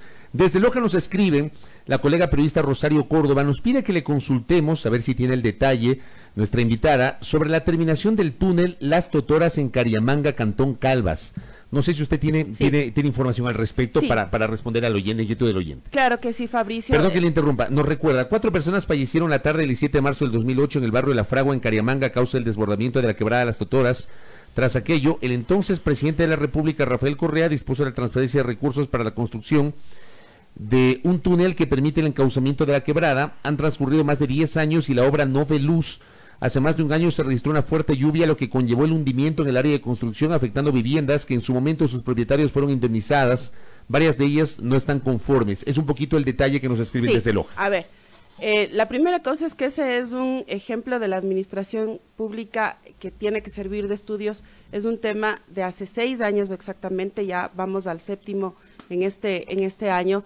Nosotros, eh, cuando yo llegué a la entonces secretaría, eh, uno de los temas que se me había dicho eh, es fundamental, era la, el túnel de, la quebrada de Totoras y efectivamente empezamos a trabajar sobre ello. ¿Cuál es el caso ahí? Que hubieron una serie de acciones anteriores muy mal hechas, estudios no adecuados para la construcción del túnel, uso de material de verdad de malísima calidad para hacer un, este túnel y el tema quedó a medias en esa circunstancia, eh, nosotros hemos empezado un proceso de, primero, hacer los estudios adecuados. Esos estudios ya fueron entregados al Ministerio de Transporte y Obras Públicas porque es quien va a construir eh, ya el túnel. Pero ustedes hicieron los estudios. Nosotros hicimos los estudios, eso fue entregado, lo, hicimos ya el año anterior. Hemos em, eh, iniciamos también con el proceso de indemnizaciones de acuerdo a los, a los estudios. Se pagaron varias de las indemnizaciones. Hay gente que sí no está de acuerdo, pero eso es un tema que tenemos que seguirlo trabajando. Y hay otra parte de indemnizaciones que hacen falta precisamente porque tienen que ver con, eh, con el uso del, del suelo. Así que eh, en esa circunstancia esperamos justo en esta semana poder firmar ya el convenio con el EMETOP que como digo va a ser quien construya el túnel y eh, con eso eh, dar ojalá por concluido para el siguiente año ya toda esta obra que ha sido de verdad un dolor de cabeza. De hecho, a la interna de la, de la, del servicio le decimos del totoricidio, porque desde el inicio estuvo mal, mal hecha, con una serie de, de irregularidades. Hay un informe de Contraloría al respecto de esto y hemos tomado todas las precauciones también enviando estos temas a Fiscalía. Dos cosas finales, eh, ministra. Nos pregunta Nelson Córdoba. ¿Por qué no se profundiza la educación y gestión de riesgos en instituciones educativas a través de la participación estudiantil? Los contenidos deben ser revisados continuamente y replicarlos en la comunidad. A ver, hay, hay un esfuerzo importante, me parece a mí, de parte del sistema educativo en torno a la gestión de riesgos. De hecho, están organizados, hay protocolos internos, hay conformadas las brigadas. Uno, nosotros lo hemos visto en los ejercicios de evacuación que se han hecho tanto por erupción volcánica como por sismos y tsunamis en las distintas provincias. Así que hay un proceso activado dentro del sistema educativo. Hace falta, sí, que la currícula se pueda revisar y profundizar conocimientos. Ese es un tema que tenemos que seguirlo trabajando con el Ministerio de Educación, pero diría yo que a esta altura quienes mejor están preparados en torno a cómo actuar en caso en caso de un, de un evento peligroso son los niños y los jóvenes dentro del sistema educativo. Claro, en eso, en eso coincido con usted. Y lo último, Juan Carlos Díaz nos dice, Ecuador está listo para aplicar la NEC. ¿Qué pasa con todas las estructuras ya construidas? ¿Cómo hemos trabajado? Nos dice. Con esto termino. Eh, Ecuador está listo para aplicar la NEC, pero efectivamente hay una serie de aspectos que no se están cumpliendo, vuelvo y repito, desde las propias autoridades en cada una de las ciudades, como también desde la ciudadanía. Eh, a veces el tema este de los permisos de construcción llevan meses, pero además otro tipo de, acciones eh, no regulares que eh, dificultan mucho y que hacen que la gente empiece a construir no de forma adecuada, sino con el maestro conocido de siempre, ¿no es cierto? Que ya sabe cómo, qué es lo que tiene que hacer, que le dice cuáles son los materiales que tiene que comprar. Sí creo que hay la necesidad desde la política de, de vivienda eh, poder profundizar muchísimo más en la necesidad del cumplimiento de normas. Es decir, uno a lo largo de estos meses, Fabricio y Alexis, uno ha visto tantas cosas alrededor de, eh, de, de las emergencias, de los desastres, que efectivamente se cuestiona mucho qué es lo que está haciendo para proteger la vida de su familia cómo se está preparando y no solo me refiero a tener la mochila de emergencia, sino si voy a construir una casa, ¿cuál va a ser la seguridad que le estoy poniendo a mi casa donde quiero que mi familia pueda estar tranquila, pueda vivir en, eh, en paz, pero además con todas las normas de seguridad cumplidas. Ese es un tema que me parece en nuestra sociedad ecuatoriana todavía tenemos que trabajar y nosotros vamos a seguir insistiendo en eso. Ojalá ahora los candidatos también le pongan un ojo a la gestión de riesgos en sus propuestas. No le pida peras al olmo. Ministra, gracias por el tiempo. No pierdo la esperanza. gracias. gracias a usted. Muchas veces esos temas no son vendibles a nivel electoral. Más adelante hablaremos de temas electorales. Gracias a nuestra invitada Alexandra Ocles, directora del Servicio Nacional de Gestión de Riesgos, evidentemente con esta planificación este 31 de enero simulacro en varios cantones de las provincias del perfil costero de nuestro país. 7 de la mañana con 10 minutos en la primera hora.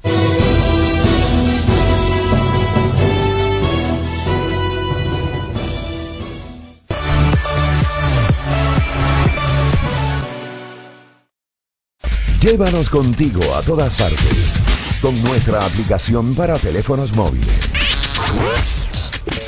Majestad Go.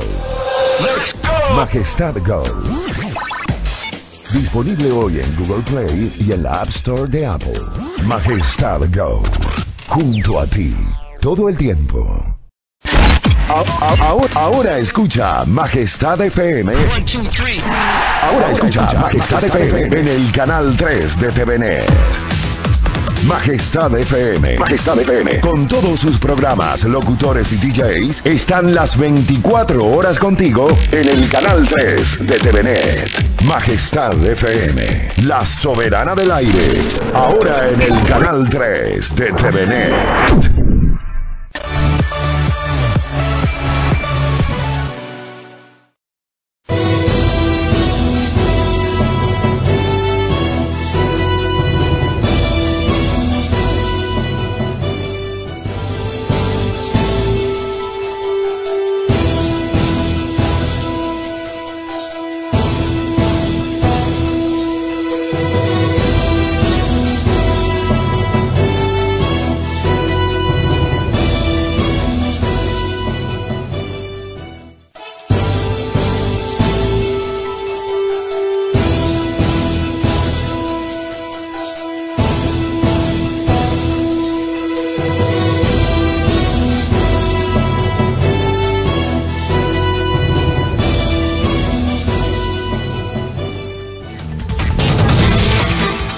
Bien, 7 de la mañana con 12 minutos. A propósito de la entrevista anterior, nos describía Oscar Moscoso.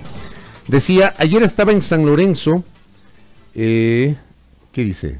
San Lorenzo, Manabí, y hubo alerta de tsunami, pero nadie avisó que era simulacro y me tocó llamar al 911 para saber, no hay la información adecuada, estamos recién cateando. Bueno, es un tema evidentemente que, que nos invita a reflexionar y un poquito estar pendientes, pero sí, decía Alexandra Ocles algo que es absolutamente real, los más chiquititos son probablemente los más preparados y los más entusiastas en estos temas que nosotros que casi todo. Creo que somos más curtidos, ¿no? Pasaba, pasaba lo mismo durante los simulacros en baños por el tema de la erupción del Tunguragua. Los niños siempre eran los más preparados, llevaban en su mochila galletas, agua, gafas, mascarillas. Eh, ellos estaban siempre preparados, mira tú. Sí, sí, sí, sí. Eh, sobre esto, evidentemente, hay, hay eh, creo yo, un largo trecho por recorrer nosotros los ecuatorianos. Y debemos evidentemente aprender de, de, los desastres naturales y también de los siniestros para mejorar nuestras propias prácticas. Hablemos de los temas electorales. Más adelante estará con nosotros el presidente del Tribunal Contencioso Electoral, Joaquín Viteri. Antes, eh, vamos a conocer un poquito el trabajo en cambio del otro organismo, el Consejo Nacional Electoral, que está pues eh, llevando adelante todo el proceso operativo de cara a las elecciones del próximo domingo 24 de marzo. José Cabrera, vocal del CNE, visita nuestra mesa de trabajo. Bienvenido, buenos días, ¿cómo le va? Bienvenido, consejero, buenos días. Buenos días a la ciudadanía, buenos días Fabricio, Alexis, gracias por la oportunidad de dirigirme al país, estoy a las órdenes. Gracias por la gentileza de acompañarnos. A ver, lo primero, eh, ¿están ya todas las candidaturas calificadas? Es decir, ¿ya terminó el CNE con ese proceso a nivel nacional?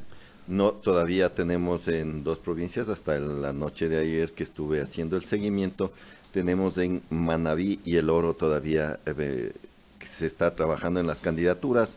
Adicionalmente, en el Tribunal Contencioso Electoral hay, eh, existen todavía algunas, uh, algunas apelaciones por, por resolverse. Eh, está como le repito, a Chimborazo también hay unas 10 eh, carpetas todavía que se está trabajando. Por lo tanto, eh, en tres provincias eh, no, no está terminado el trabajo, es en Manabí, El Oro y Chimborazo. 11 provincias se han entregado ya al IGM para que se impriman las, las papeletas. Las 10 restantes provincias se está trabajando en el, en el Consejo Nacional Electoral, la, Dirección de, Organizaciones Políticas revisando la información que llegan de las provincias antes de ser enviado al IGM, de tal manera de hacer un, chequeo en cuanto a fotos, nombres, porque en la cantidad de candidatos que existen eh, se pueden desprender las fotos, etcétera. Entonces se, se está haciendo una, una revisión antes de enviar al, al IGM. Por, qué se han dado esos problemas en eh, eh, Esmeraldas, y, eh, perdón, en Manaví el Oro, consejero? ¿Por qué se ha detenido el proceso de inscripción o está todavía eso en veremos? Bueno, yo espero que hasta el día miércoles esté ya concluido. Sí, hubo un retardo en, en el oro, hubo un problema de que la Junta tomó una decisión que tuvo que revocar a todas las organizaciones políticas y empezar nuevamente la, la calificación. Eh, eso ha retardado un poco, pero estamos, estamos trabajando igual en, en, Manaví. ¿Les ha eh, puesto un plazo ustedes para, porque digo, ya cada vez se acerca más del inicio de la campaña? Sí, el, plazo que tenemos para entregar al IGM toda la, información es hasta el, el 4 de, enero.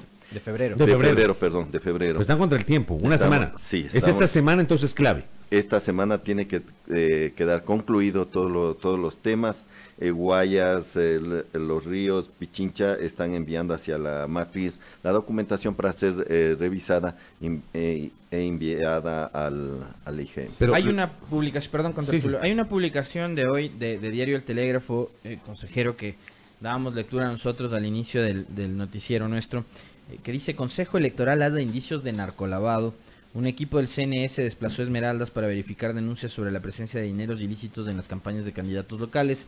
El rumor de que candidatos estarían recibiendo dineros del narcotráfico para financiar campañas políticas movió a una brigada del CNE. El consejero Luis Beresoto comentó que daron indicios de penetración del dinero de las mafias, posiblemente colombianas, que están viendo organizaciones políticas como fuente para camuflar su dinero ilícito. ¿Qué información tiene usted sobre esta denuncia? Bueno, en lo particular no, no tengo eh, conocimiento eh, sí ha sido, incluso en otras campañas, eh, los comentarios de que existe eh, dinero de, de narcolavado. Eh, se ha conversado con la UAFE, ha tenido reuniones nuestra presidenta Diana Tamaín con, con la directora de la UAFE y se está trabajando en esos temas. Específicos, eh, casos, en lo particular no conozco. No conozco casos específicos. Sí, eh, Luis, eh, escuché que hizo ese comentario. Claro, pero, llama la atención, o sea, sí, sí sería grave de comprobarse esto, evidentemente es grave. Así es, eh, incluso en el artículo 296 del, del Código de la Democracia habla específicamente de esa, de esa situación en que de detectarse dineros ilícitos en, en la campaña se comunicará al Tribunal Contencioso Electoral y este a su vez, si es necesario, eh, informar a la, a la justicia común, ¿no? a la fiscalía. Esto indica, dice eh, específicamente, dice, si el Consejo Nacional Electoral considera que el aporte fue ilícito, pondrá este hecho en conocimiento del Tribunal Contencioso Electoral para la imposición de las sanciones correspondientes. Si el Tribunal Contencioso Electoral considera pertinente, remitirá el expediente de todo lo actuado a la justicia ordinaria cuando corresponda. No sé si es, sería gravísimo eh, encontrar esta, estas anomalías, digámosle así, pero si es que esté en nuestras manos, lo denunciaremos y actuaremos de acuerdo a la ley. Déjeme solamente para cerrar la idea anterior de lo que estamos estábamos hablando, ustedes eh, señalan que hasta el 4 de febrero, es decir, el próximo lunes, es una semana exacta la que tienen, deberán entregar ya todos los datos al Instituto Geográfico Militar para la correspondiente impresión de papeletas. Eh, en el oro, ¿cómo, ¿cómo están las cosas? Porque entiendo que en el oro volvieron a foja cero. Finalmente se tomó esa decisión de eh, pedir a todas las organizaciones políticas que vuelvan a registrar sus, sus candidaturas. Bueno, no, no a registrar, sino al al, segmento de calificación. O sea, ah, ya se registraron, lo que sí se hizo es nuevamente la revisión de documentación y la posterior comunicación a las organizaciones políticas para que realicen eh, sus, uh, sus objeciones. Ya, porque ese paso se saltó. La Junta ¿Se no, saltó? Se saltó, no hizo. por qué se saltó? lamentablemente ahí hubo un error, por eso es que tuvieron que corregir ese error, volver a... ¿Pero cómo la Junta se salta?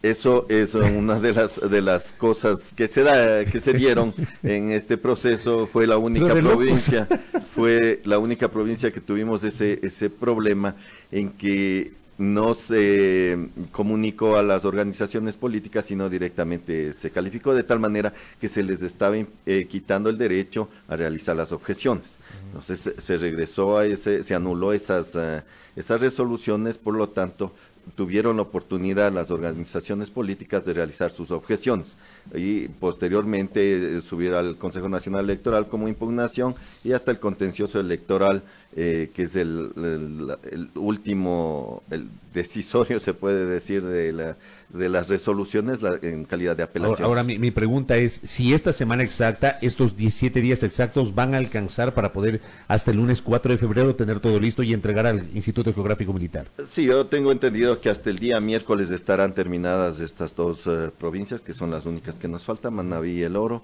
e inmediatamente enviarán la documentación a Quito para su revisión y envío al, Instituto Geográfico. Desde hoy, consejero, inician ustedes una etapa de diálogo con las organizaciones políticas, tengo entendido, qué es lo que van a, conversar, qué es lo que tienen que coordinar con eh, las OP de aquí en adelante. Bueno, eh, informarles a las organizaciones eh, políticas cómo van los, los procesos, cómo se va a proceder en, en los diferentes eh, subtemas que tenemos todavía de para hasta llegar a elecciones, como es la, la parte de mm, publicidad y, todos esos eh, todos esos aspectos. Entonces eh, se va a tener en, verdad los, las reuniones ya con las organizaciones políticas que tienen que estar informadas antes del proceso electoral. Correcto.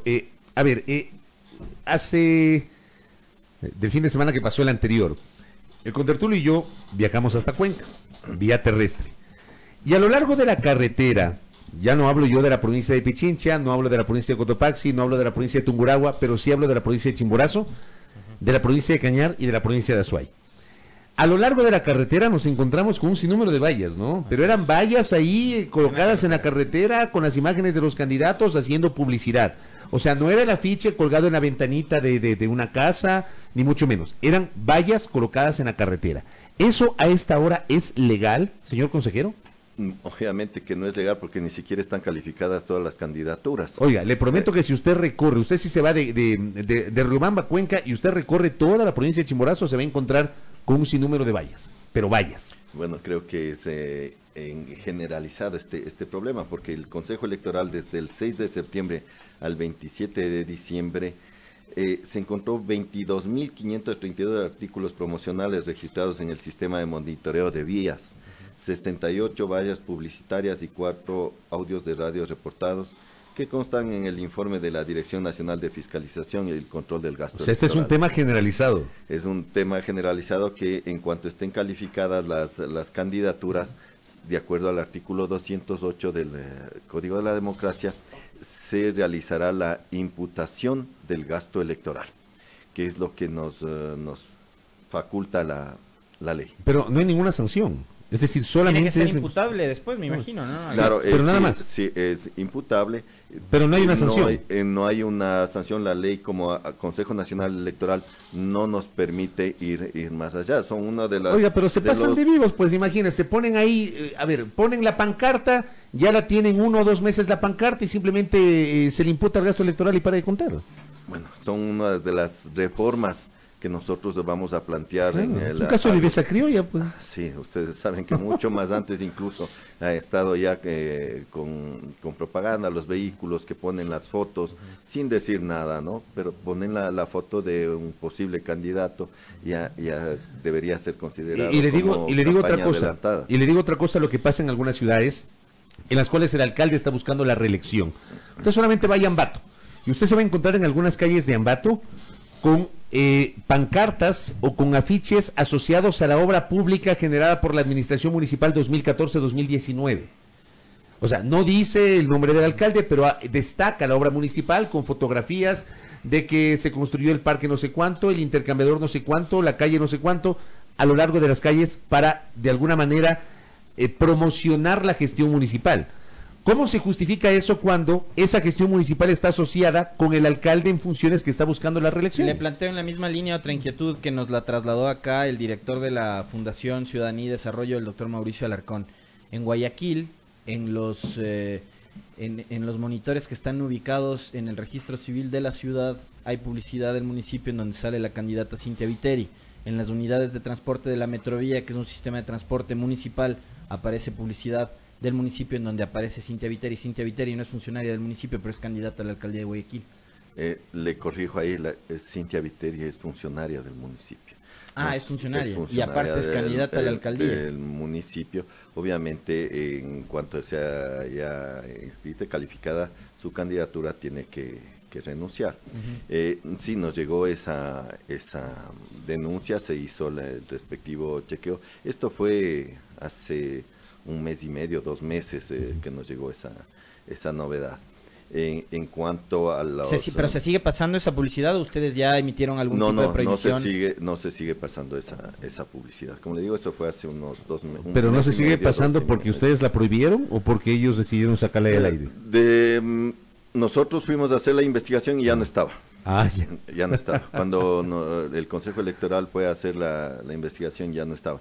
En cuanto a los eh, dineros de, los, eh, de las instituciones públicas, ¿quién eh, está facultado para hacer las revisiones de Contraloría? Tenemos un convenio firmado con Contraloría de tal manera que nosotros informamos a Contraloría y quienes ah, accesan a, a- a chequear las, las cuentas de de los municipios, de las prefecturas, es Contraloría. Acá nos, Entonces, nosotros como, como organismo administrativo no podemos eh, revisar cuentas de, de- de municipios, prefecturas, pero sí Contraloría. Hay, hay, hay otra particularidad a propósito de un mensaje que me escribe Enrique Araujo a través del Facebook. También volvemos al tema de, de cuando uno recorre el país se encuentra con estas particularidades. Hay paredes en las cuales ya están pintadas leyendas a favor de los candidatos. Eh, entiendo que esas son propiedad, propiedad privada, pero ya aparece ahí el nombre de los candidatos. ¿Eso es legal? ¿Se puede hacer eso? No, la campaña... Tampoco se puede la- hacer eso. La campaña empieza el 5 de febrero. O sea, lo que en este momento encontramos en las carreteras eh, o en, los, en, en algunos cantones, en algunos pueblos, eh, en las paredes pintadas de casas, de fábricas, etcétera, eso no es legal tampoco. No todavía porque la campaña no está autorizada, por eso es lo que se está tomando de parte del Consejo Electoral, nota de todos estos, ah, de todas eh, estas irregularidades de, campaña. Bárbaro. Eh, incluso al, dependiendo de la, situación, eh, se tendría que informar al, al Tribunal Contencioso Electoral para eh, que sea considerado como una infracción electoral. Qué bárbaro, oiga, eh, ahí uno se da cuenta que evidentemente hay vacíos en el Código de Democracia. y hay abusos, más que todo abusos, porque si sabes tú que la campaña inicia, o sea, está bien, haz los recorridos, haz trabajo de territorio, pero no, ya, no, en papeles la ciudad. Yo te contaba el otro día que vas por Yaguachi, vas por Juja, pasas Baboy y te encuentras ahí un montón de... Bueno, y es en, todas las, en todo lado. En todo lado, porque nosotros hemos estado en Guayas, Manabí, Los Ríos, El Oro, en Tungurahua, en Chimborazo. Es en todo lado. Es, en todo Esto es nacional. Oiga, yo le quisiera preguntar, consejero, y más que preguntarle, eh, una reacción suya con respecto de declaraciones de algunos actores políticos en este país. Guillermo Lazo viene desde hace rato denunciando de un, de un posible fraude electoral en este proceso del 24 de marzo. Lamentablemente esa forma de hacer política no lo cambiamos. Hubiera, eh, sería bueno que nos presenten o que denuncien con pruebas. Si nosotros eh, hemos recibido estas noticias por redes sociales, eh, incluso el señor Guillermo Lazo eh, vino al Consejo Nacional Electoral, eh, en algún medio de comunicación se topó con nuestra presidenta, a la cual le hizo uh, luego una, una carta solicitando que le recibamos. Le recibimos los, los cuatro consejeros, una de las consejeras no estuvo, Estela Cero, y conversamos con el señor Lazo. Y escuchamos sus, sus inquietudes, resolvimos sus inquietudes.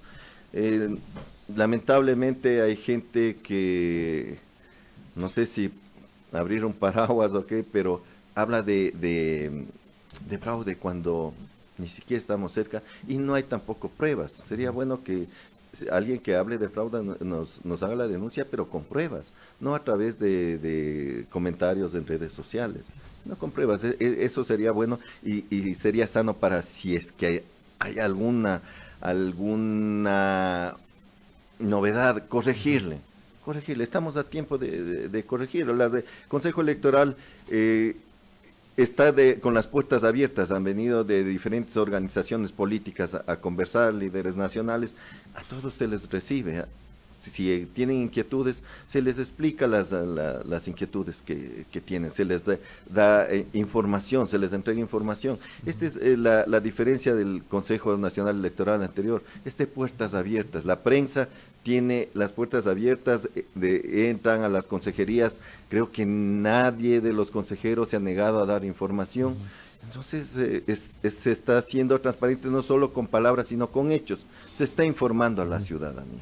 Entonces, repito, si es que alguien eh, tiene pruebas, indicios de que hay un fraude, denúncielo, denúncielo y, veamos qué es lo que pasa. Correcto. Un par de cosas finales en este diálogo con nuestro invitado, el consejero nacional electoral José Cabrera. Eh, nos escriben desde Loja nuevamente, eh, nos dicen, en el caso de Loja, la Junta Provincial Electoral remitió a Quito la calificación de candidaturas del movimiento Creo. ¿Qué decisión hay? La Junta no las calificó porque las carpetas no ingresaron a tiempo. Se presume que ingresaron después de los tiempos previstos. ¿Tiene conocimiento usted sobre esto que alertan, nos alertan desde Loja? Todavía no ha llegado al, Consejo Electoral, no, no hemos tenido... El Pleno no ha conocido no ha conocido todavía este, este tema y en cuanto llegue eh, revisaremos, ¿no? Revisaremos porque si eh, en el, la SUAI, por ejemplo, hubo un problema con cuatro organizaciones eh, políticas en las que ingresaron los documentos, incluso tienen, estuvieron selladas, estuvieron foliadas, sin embargo, no se hizo el, eh, ingreso al sistema informático, no se registró. Por lo tanto, eh, solicitamos, vimos las pruebas y de acuerdo a eso aprobamos la inscripción de esas, candidaturas que estuvieron eh, en, los, en las fechas y horas determinadas. Correcto. Y lo último, ¿Por qué el Pleno del Consejo Nacional Electoral eh, tomó una primera decisión de no habilitar o no calificar la candidatura del ex asambleísta Galo Lara en la provincia de Los Ríos? Bueno, para el Consejo Nacional Electoral, eh, el señor Galo Lara no tenía los derechos políticos, además de que tenía una sentencia y eh, había estado, salió por, por acogerse a la, a la prelibertad. A la prelibertad, pero todavía continúa con la sentencia. Nosotros en, el Pleno, los eh, cinco consejeros, eh, según nuestro criterio, dijimos que no, no podía ser candidato. Fue la votación unánime de los cinco consejeros. Sé que el eh, Tribunal Contencioso eh, acogió el pedido del señor Lara y fue calificado. Nosotros tenemos que respetar la decisión del, Tribunal Contencioso. le, hago esta pregunta porque evidentemente, sí, eh, la, la, decisión del Tribunal Contencioso es de última y definitiva instancia, pero ustedes habían tomado una primera decisión y queríamos conocer las razones por las cuales habían adoptado aquello. Nos recuerda que fue unanimidad, ¿no? Sí, pues fue unanimidad. Correcto. Señor Cabrera, gracias por el tiempo. Muy amable. A ustedes, como siempre, a las órdenes y amable. muy amables. Se viene una semana durísima para el Consejo Nacional Electoral. Esta semana tiene que quedar todo listo. La idea es que hasta el lunes 4 de febrero, nos ha dicho nuestro invitado en esta mañana, se pueda entregar la lista definitiva de candidatos para las elecciones del próximo domingo 24 de marzo al Instituto Geográfico Militar para la elaboración de las papeletas correspondientes. Gracias a nuestro invitado, José Cabrera. Eh, solamente una pregunta, una pregunta adicional, DJ, por favor, antes de que se me pase. Eh, ¿Va a haber alguna decisión adicional sobre el caso de los candidatos al Consejo de Participación Ciudadana y Control Social, me refiero a la forma como ellos podrían publicitarse, o eso ya está en firme y no hay nada que hacer. Bueno, el día miércoles o jueves vamos a tener una reunión para explicarles a los candidatos cómo va a ser el trabajo de, difusión, pero publicitarse por ellos solos no es posible, está en la ley, no podemos nosotros cambiar la ley. Y tampoco les van a entregar recursos como pasa con las organizaciones políticas. A ver, eh, no se les entrega recursos. Eh, se asignan recursos, no es que le entregan la plata, tiene razón. Sí, eh, se asigna, sí, se va a proceder como es en a los otros candidatos de las circunscripciones eh, con la propaganda en, o hacer conocer, perdón, hacer conocer los nombres, los ah, planes de trabajo. Pero eso lo hace el propio CNE, no lo hacen los candidatos. No lo van a hacer los candidatos. Correcto, me queda claro, entonces ahí no hay nada que hacer. Gracias a José Cabrera, integrante del Consejo Nacional Electoral en nuestros micrófonos, hablando justamente sobre la organización de los comicios del próximo 24 de marzo. Esto es a primera hora a través de Majestad FM.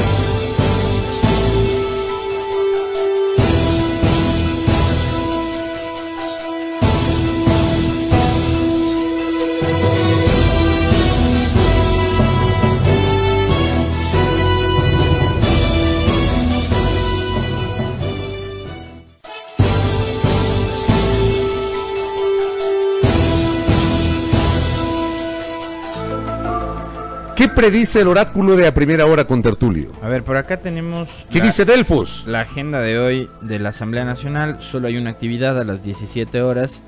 Se ha convocado a sesión la Comisión de Justicia para abocar conocimiento de las siguientes resoluciones. Calificar el proyecto de ley orgánica reformatoria al Código Orgánico Integral Penal presentado por la asambleísta Lira Villalba. Calificar el proyecto de ley orgánica reformatoria a la Ley Orgánica de la Función Legislativa presentado por la asambleísta Elizabeth Cabezas, presidenta de la Asamblea Nacional.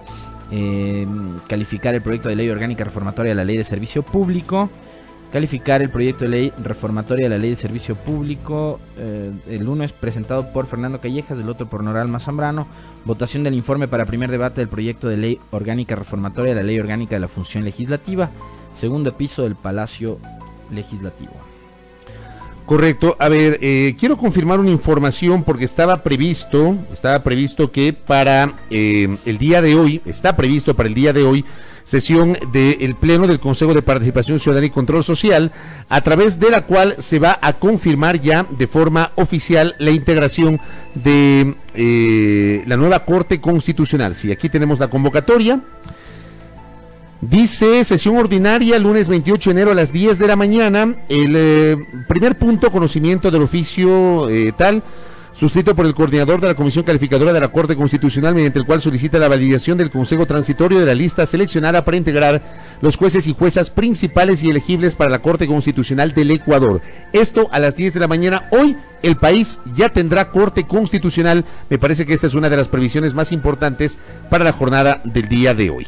A ver, por acá tenemos agenda de gobierno, el Ministerio de Relaciones Exteriores y Movilidad Humana, Ministerio de Educación, Ministerio de Cultura y Patrimonio, Consejo Nacional para la Igualdad de Pueblos y Nacionalidades con la colaboración de UNESCO. Invitan al lanzamiento del Año Internacional de las Lenguas Indígenas 2019. Esto va a ser a las 10 de la mañana en el Salón Los Próceres de la Cancillería, lunes 28 de enero. A ver, por acá tenemos otra invitación con Tertulio. A ver, no, la agenda gubernamental para hoy hay una sola actividad en Quito. ¿Cuáles tienen? La de las 11 de la mañana, Secretaría Técnica del Sistema Nacional de Cualificaciones Profesionales, diálogo con operadores de capacitación calificados para la capacitación y certificación de competencias laborales en el ámbito de la comunicación. Esto con la presencia de Lorena Polit, secretaria técnica del Sistema Nacional de Cualificaciones Profesionales, será en la sede de este organismo acá en la capital. No ponen la dirección, así que no sé dónde queda.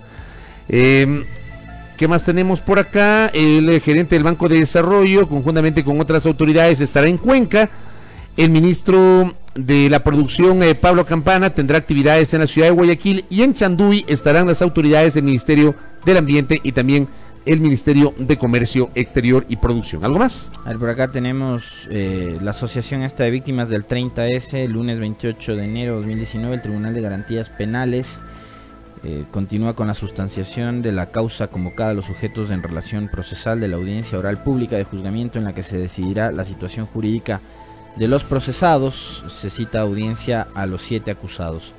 Esto es hoy, lunes 28 de enero, a las 8 horas con 30 minutos en el Tribunal de Garantías Penales, sede Iñaquito. Muy bien, ¿algo más?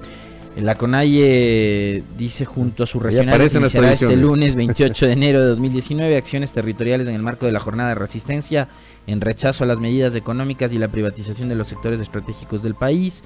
Por acá tenemos una invitación del, del municipio de Quito, el municipio del Distrito Metropolitano de Quito y la empresa pública metropolitana de gestión integral de residuos sólidos invita a la inauguración e inicio de operaciones del cubeto 9B, espacio configurado técnicamente en el relleno, en el relleno sanitario de Quito, donde se dispondrán los residuos, los residuos sólidos que se generan diariamente en la ciudad. 9 horas, lugar relleno sanitario de Quito, vía Pifo Amaguaña, sector del Parque Industrial, avenida E35, kilómetro 14 y medio. ¿Qué más tenemos por acá? Déjame ver. ¿Usted le aparecen nomás las previsiones hoy? Sí, oye. Dice, eh, el día lunes, rueda de prensa de reestructuración de rutas de transporte público pasa a las 3 de la tarde en la sala de prensa de la alcaldía. Eso. Muy bien, tertulia, muy bien. Ahí está ahí las previsiones. Ahí surgieron algunas cosas para el día de hoy. Pausa y volvemos.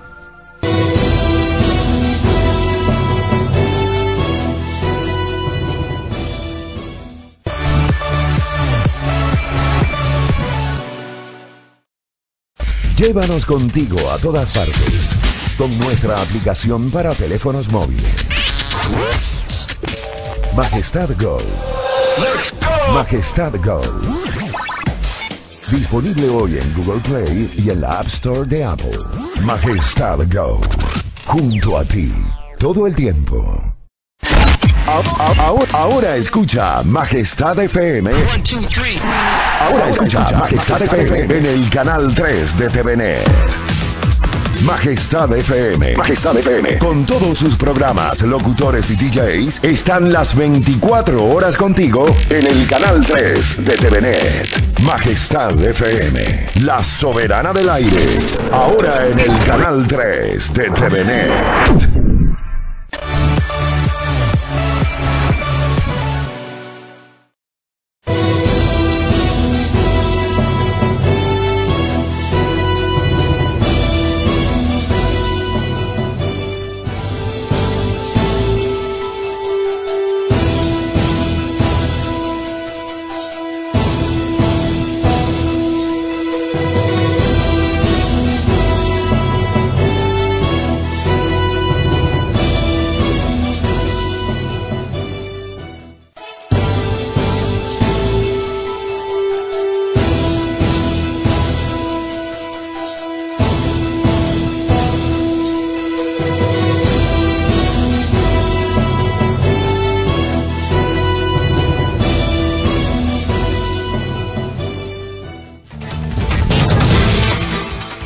Más café para los contertulios, por favor, tenga la bondad. Me están reportando precipitaciones a esta hora en Quito. Y era ahora, ¿no? ¿Está lloviendo? Sí, me dicen. que ¿Dónde? sí. En Quito. Qué calor el fin de semana y la semana pasada debe haber sido de los días o de las, de las jornadas eh, con las temperaturas más altas en el Distrito Metropolitano de Quito.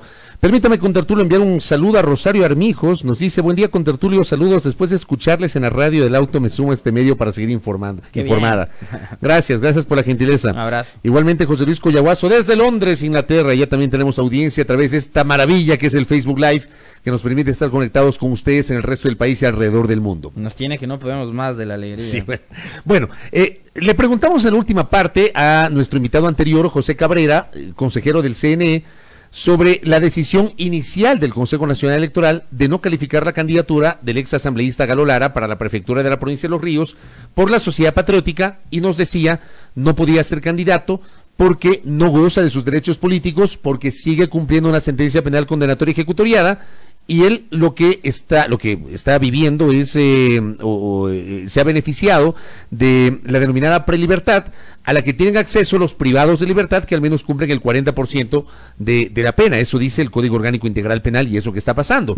Pero en el curso de la jornada del pasado jueves, y esto fue noticia la mañana del viernes, el Tribunal Contencioso Electoral, con tres votos a favor de sus cinco jueces, hubo dos votos salvados, decidió, en cambio, habilitar la candidatura de Galo Lara. Y hemos, como siempre procuramos hacerlo, acudir a la fuente tenemos en nuestra mesa de trabajo al doctor Joaquín Viteri, él es el presidente del Tribunal Contencioso Electoral.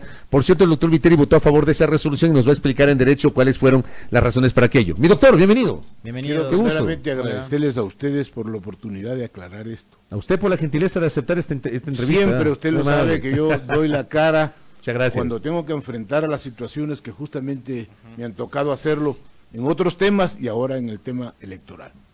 Primeramente quiero decirle al país y a ustedes, señores periodistas, que el tribunal no actúa con direccionamiento a determinado candidato, a determinado partido político, a determinado movimiento político, sino en general. Usted siempre me ha escuchado decir que algo que es fundamental en lo que tiene el derecho el ciudadano es en la seguridad jurídica. Nosotros tenemos en este momento normas muy concretas.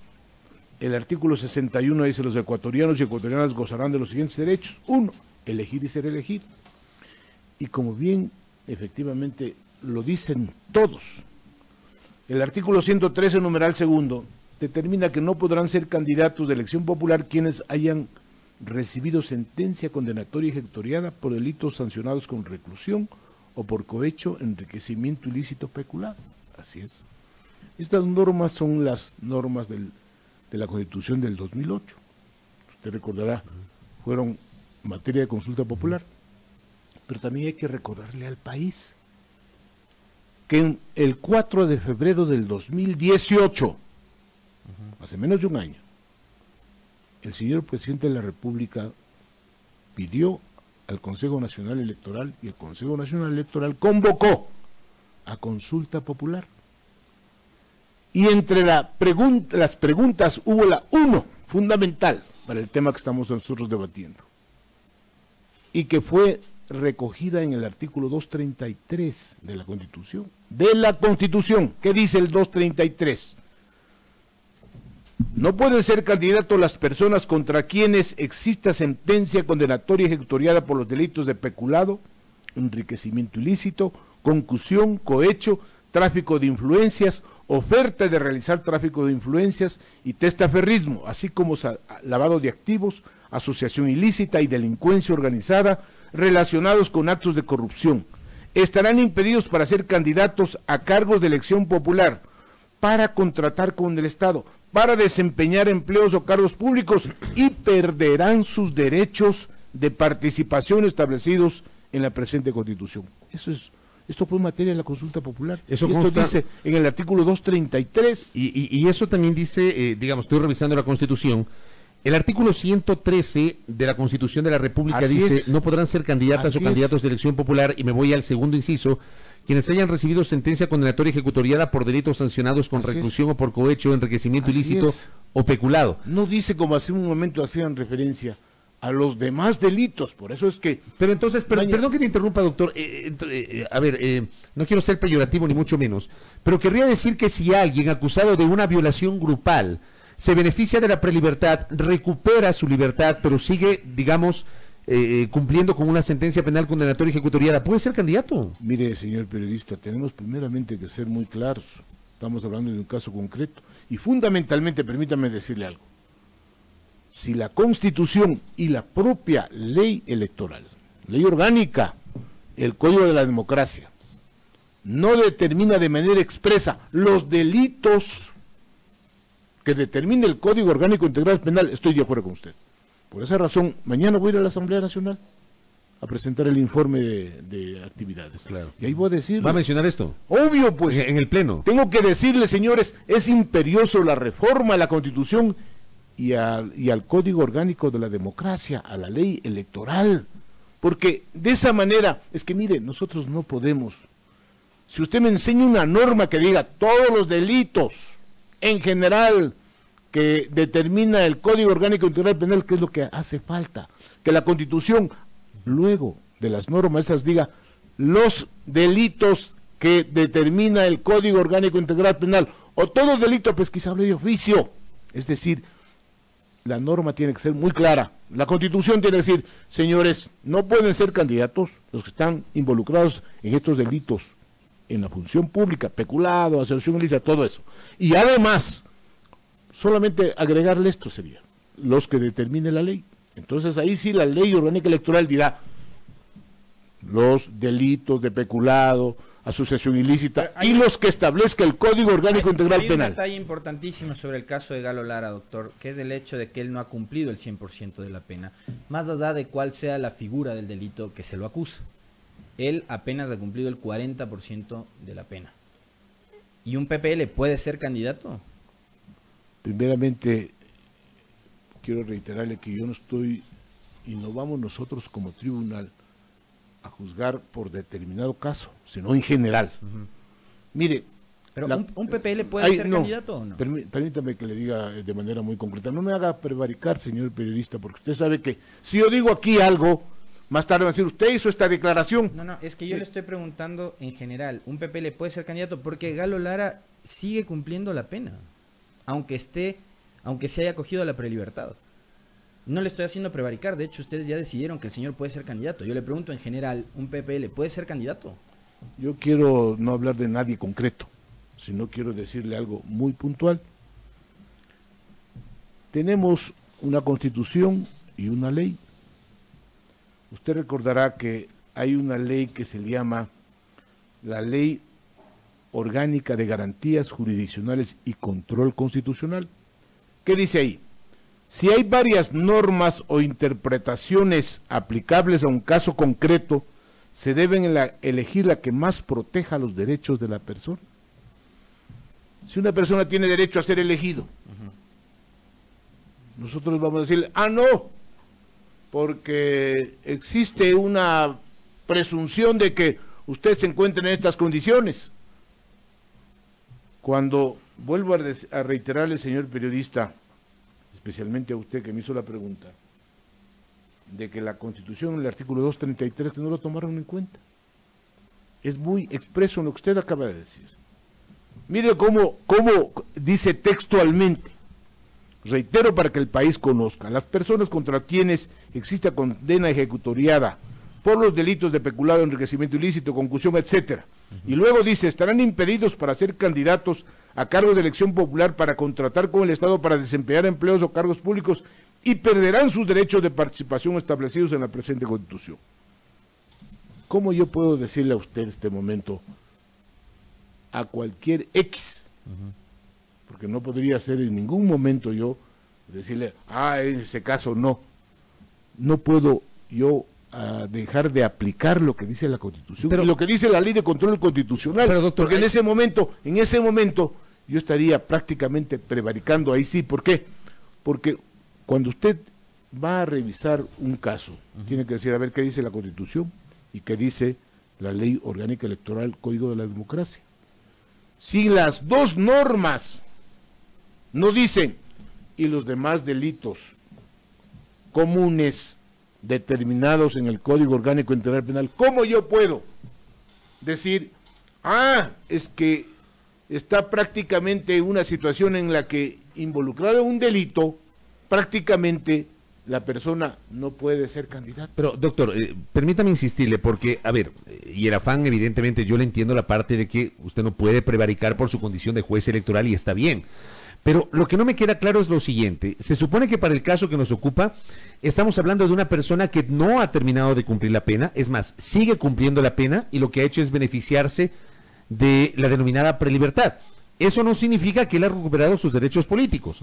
Y le hago esta reflexión porque cuando se organizan procesos electorales y cuando antes del domingo de elecciones, por lo general dos o tres días antes, la organización del proceso electoral, el CNE, procede a receptar el voto de los privados de libertad, pero de aquellos que no tienen sentencia penal condenatoria ejecutoriada. Es decir, los que sí tienen sentencia ejecutoriada no pueden votar porque carecen de los derechos políticos. Así es el artículo 64 de la Constitución. Claro, mi pregunta es, si una persona, por más que se beneficie de la prelibertad y por más que digamos su delito no está en curso dentro de lo que dice el artículo que usted ha citado y también el 113 de la Constitución que lo acabo de citar, pero termina siendo una persona que no goza de sus derechos políticos.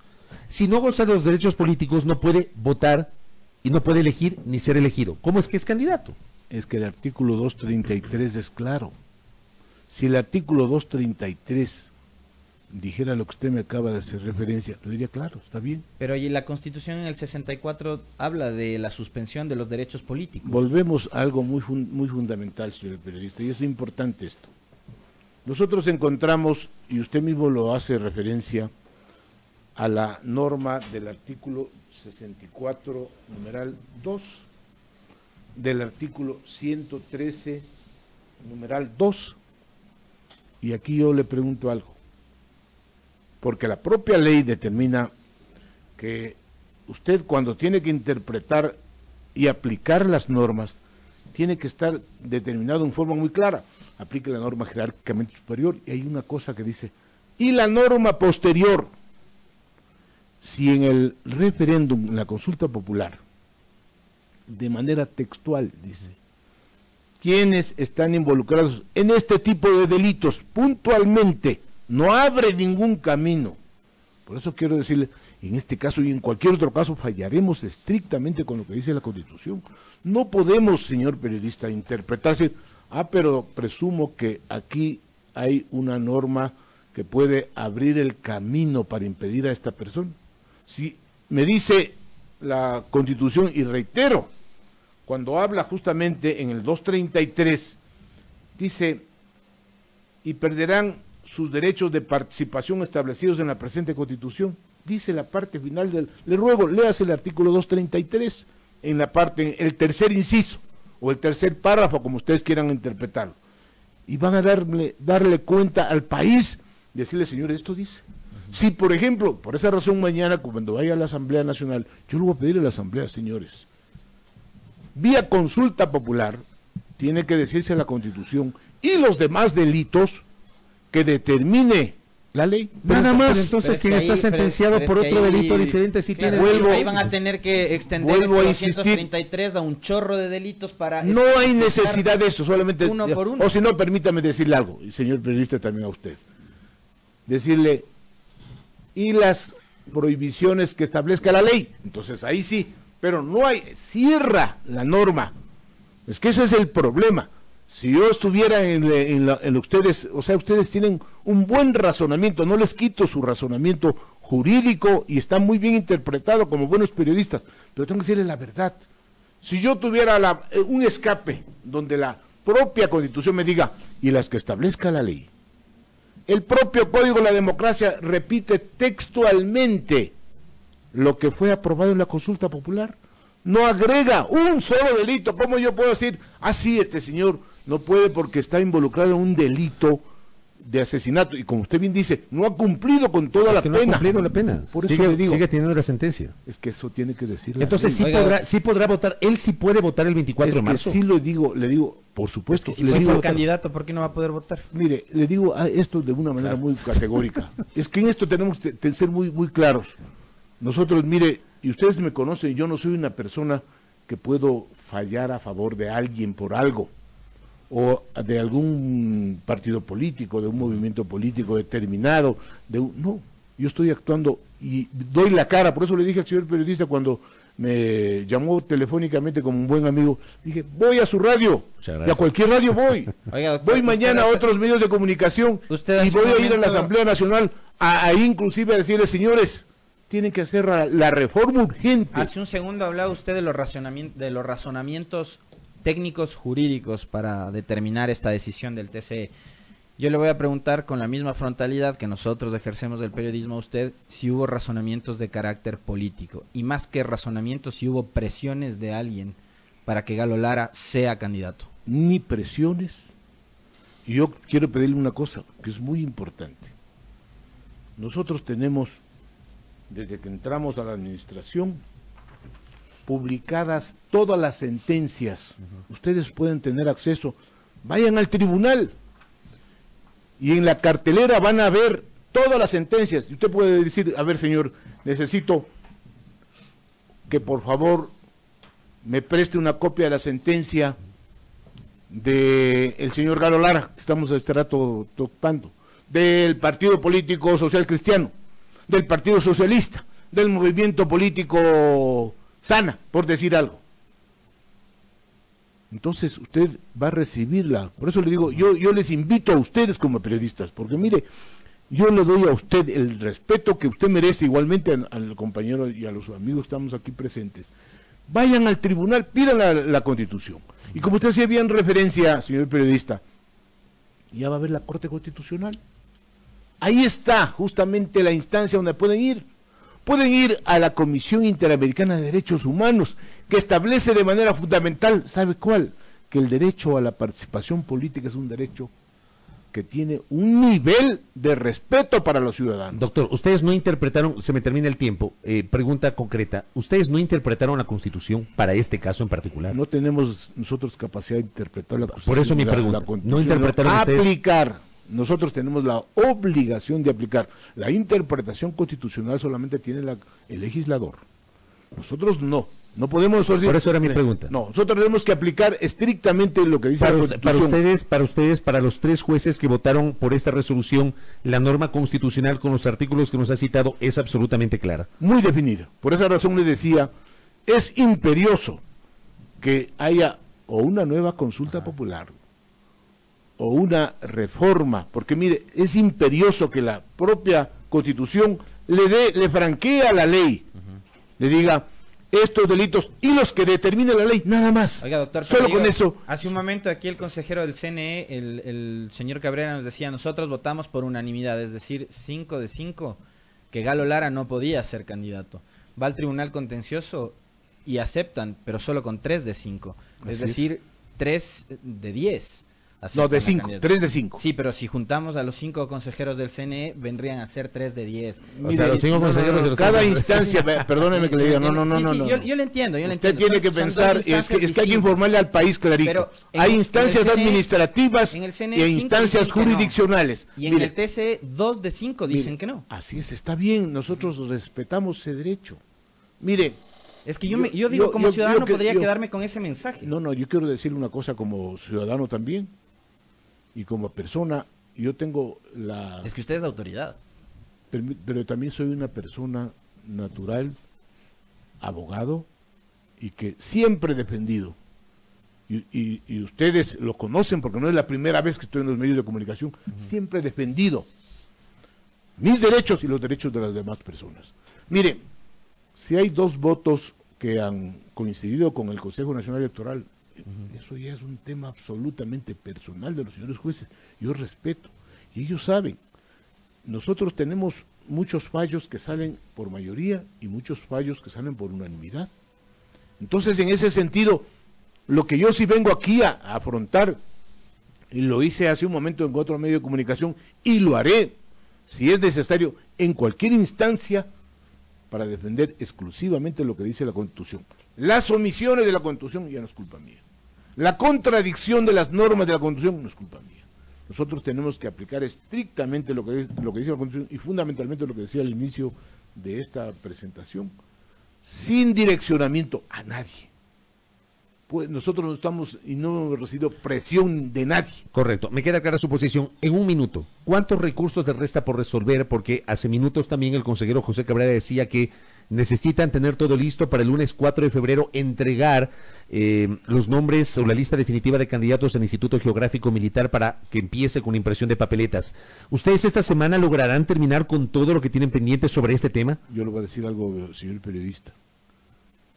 Nosotros, desde que iniciamos gestiones, dijimos, a ver, de aquí estamos el 3 de diciembre hasta el 21 de diciembre tenemos que resolver todo para que puedan habilitarse inscribirse a candidaturas. Y verá que pusimos a tres candidatos al Consejo de Participación Ciudadana. Es decir, nosotros cumplimos sin descansar absolutamente. ¿Ya terminaron ustedes su trabajo o no? Todavía no. Tenemos pendientes algunas causas. ¿Alcanzarán esta semana? Nosotros tenemos que resolverlo. ya, ya, sí o sí tienen que alcanzar Cumplimos con el reto, señor periodista, de que el 21 de diciembre estuvieron habilitados todos los recursos que se referían a candidaturas, a partidos políticos, a movimientos políticos y a todas las reclamaciones que estaban pendientes. mire, nosotros resolvimos 49 causas en un tiempo récord, pero eso sí, y eso tengo que reconocerlo, los funcionarios, funcionarias de carrera del Tribunal Contencioso Electoral desde el primer día en que yo les convoqué a todos, han trabajado 24 horas del día. Si usted va a la madrugada al Tribunal Contencioso Electoral, no encuentra trabajando a las personas. Entonces, no tenemos ningún problema, señor periodista, en cumplir estrictamente con nuestra obligación de que antes de la fecha en que tienen que publicarse las papeletas electorales resolvamos todos los recursos. Correcto, estamos pendientes de aquello. Era importante tenerlo acá justamente por los últimos acontecimientos al doctor Joaquín Viteri. Gracias, doctor, por la gentileza, por la presencia del presidente del Tribunal Contencioso Electoral, el doctor Joaquín Viteri, aquí en nuestros micrófonos. 8 de la mañana con dos minutos. A primera hora.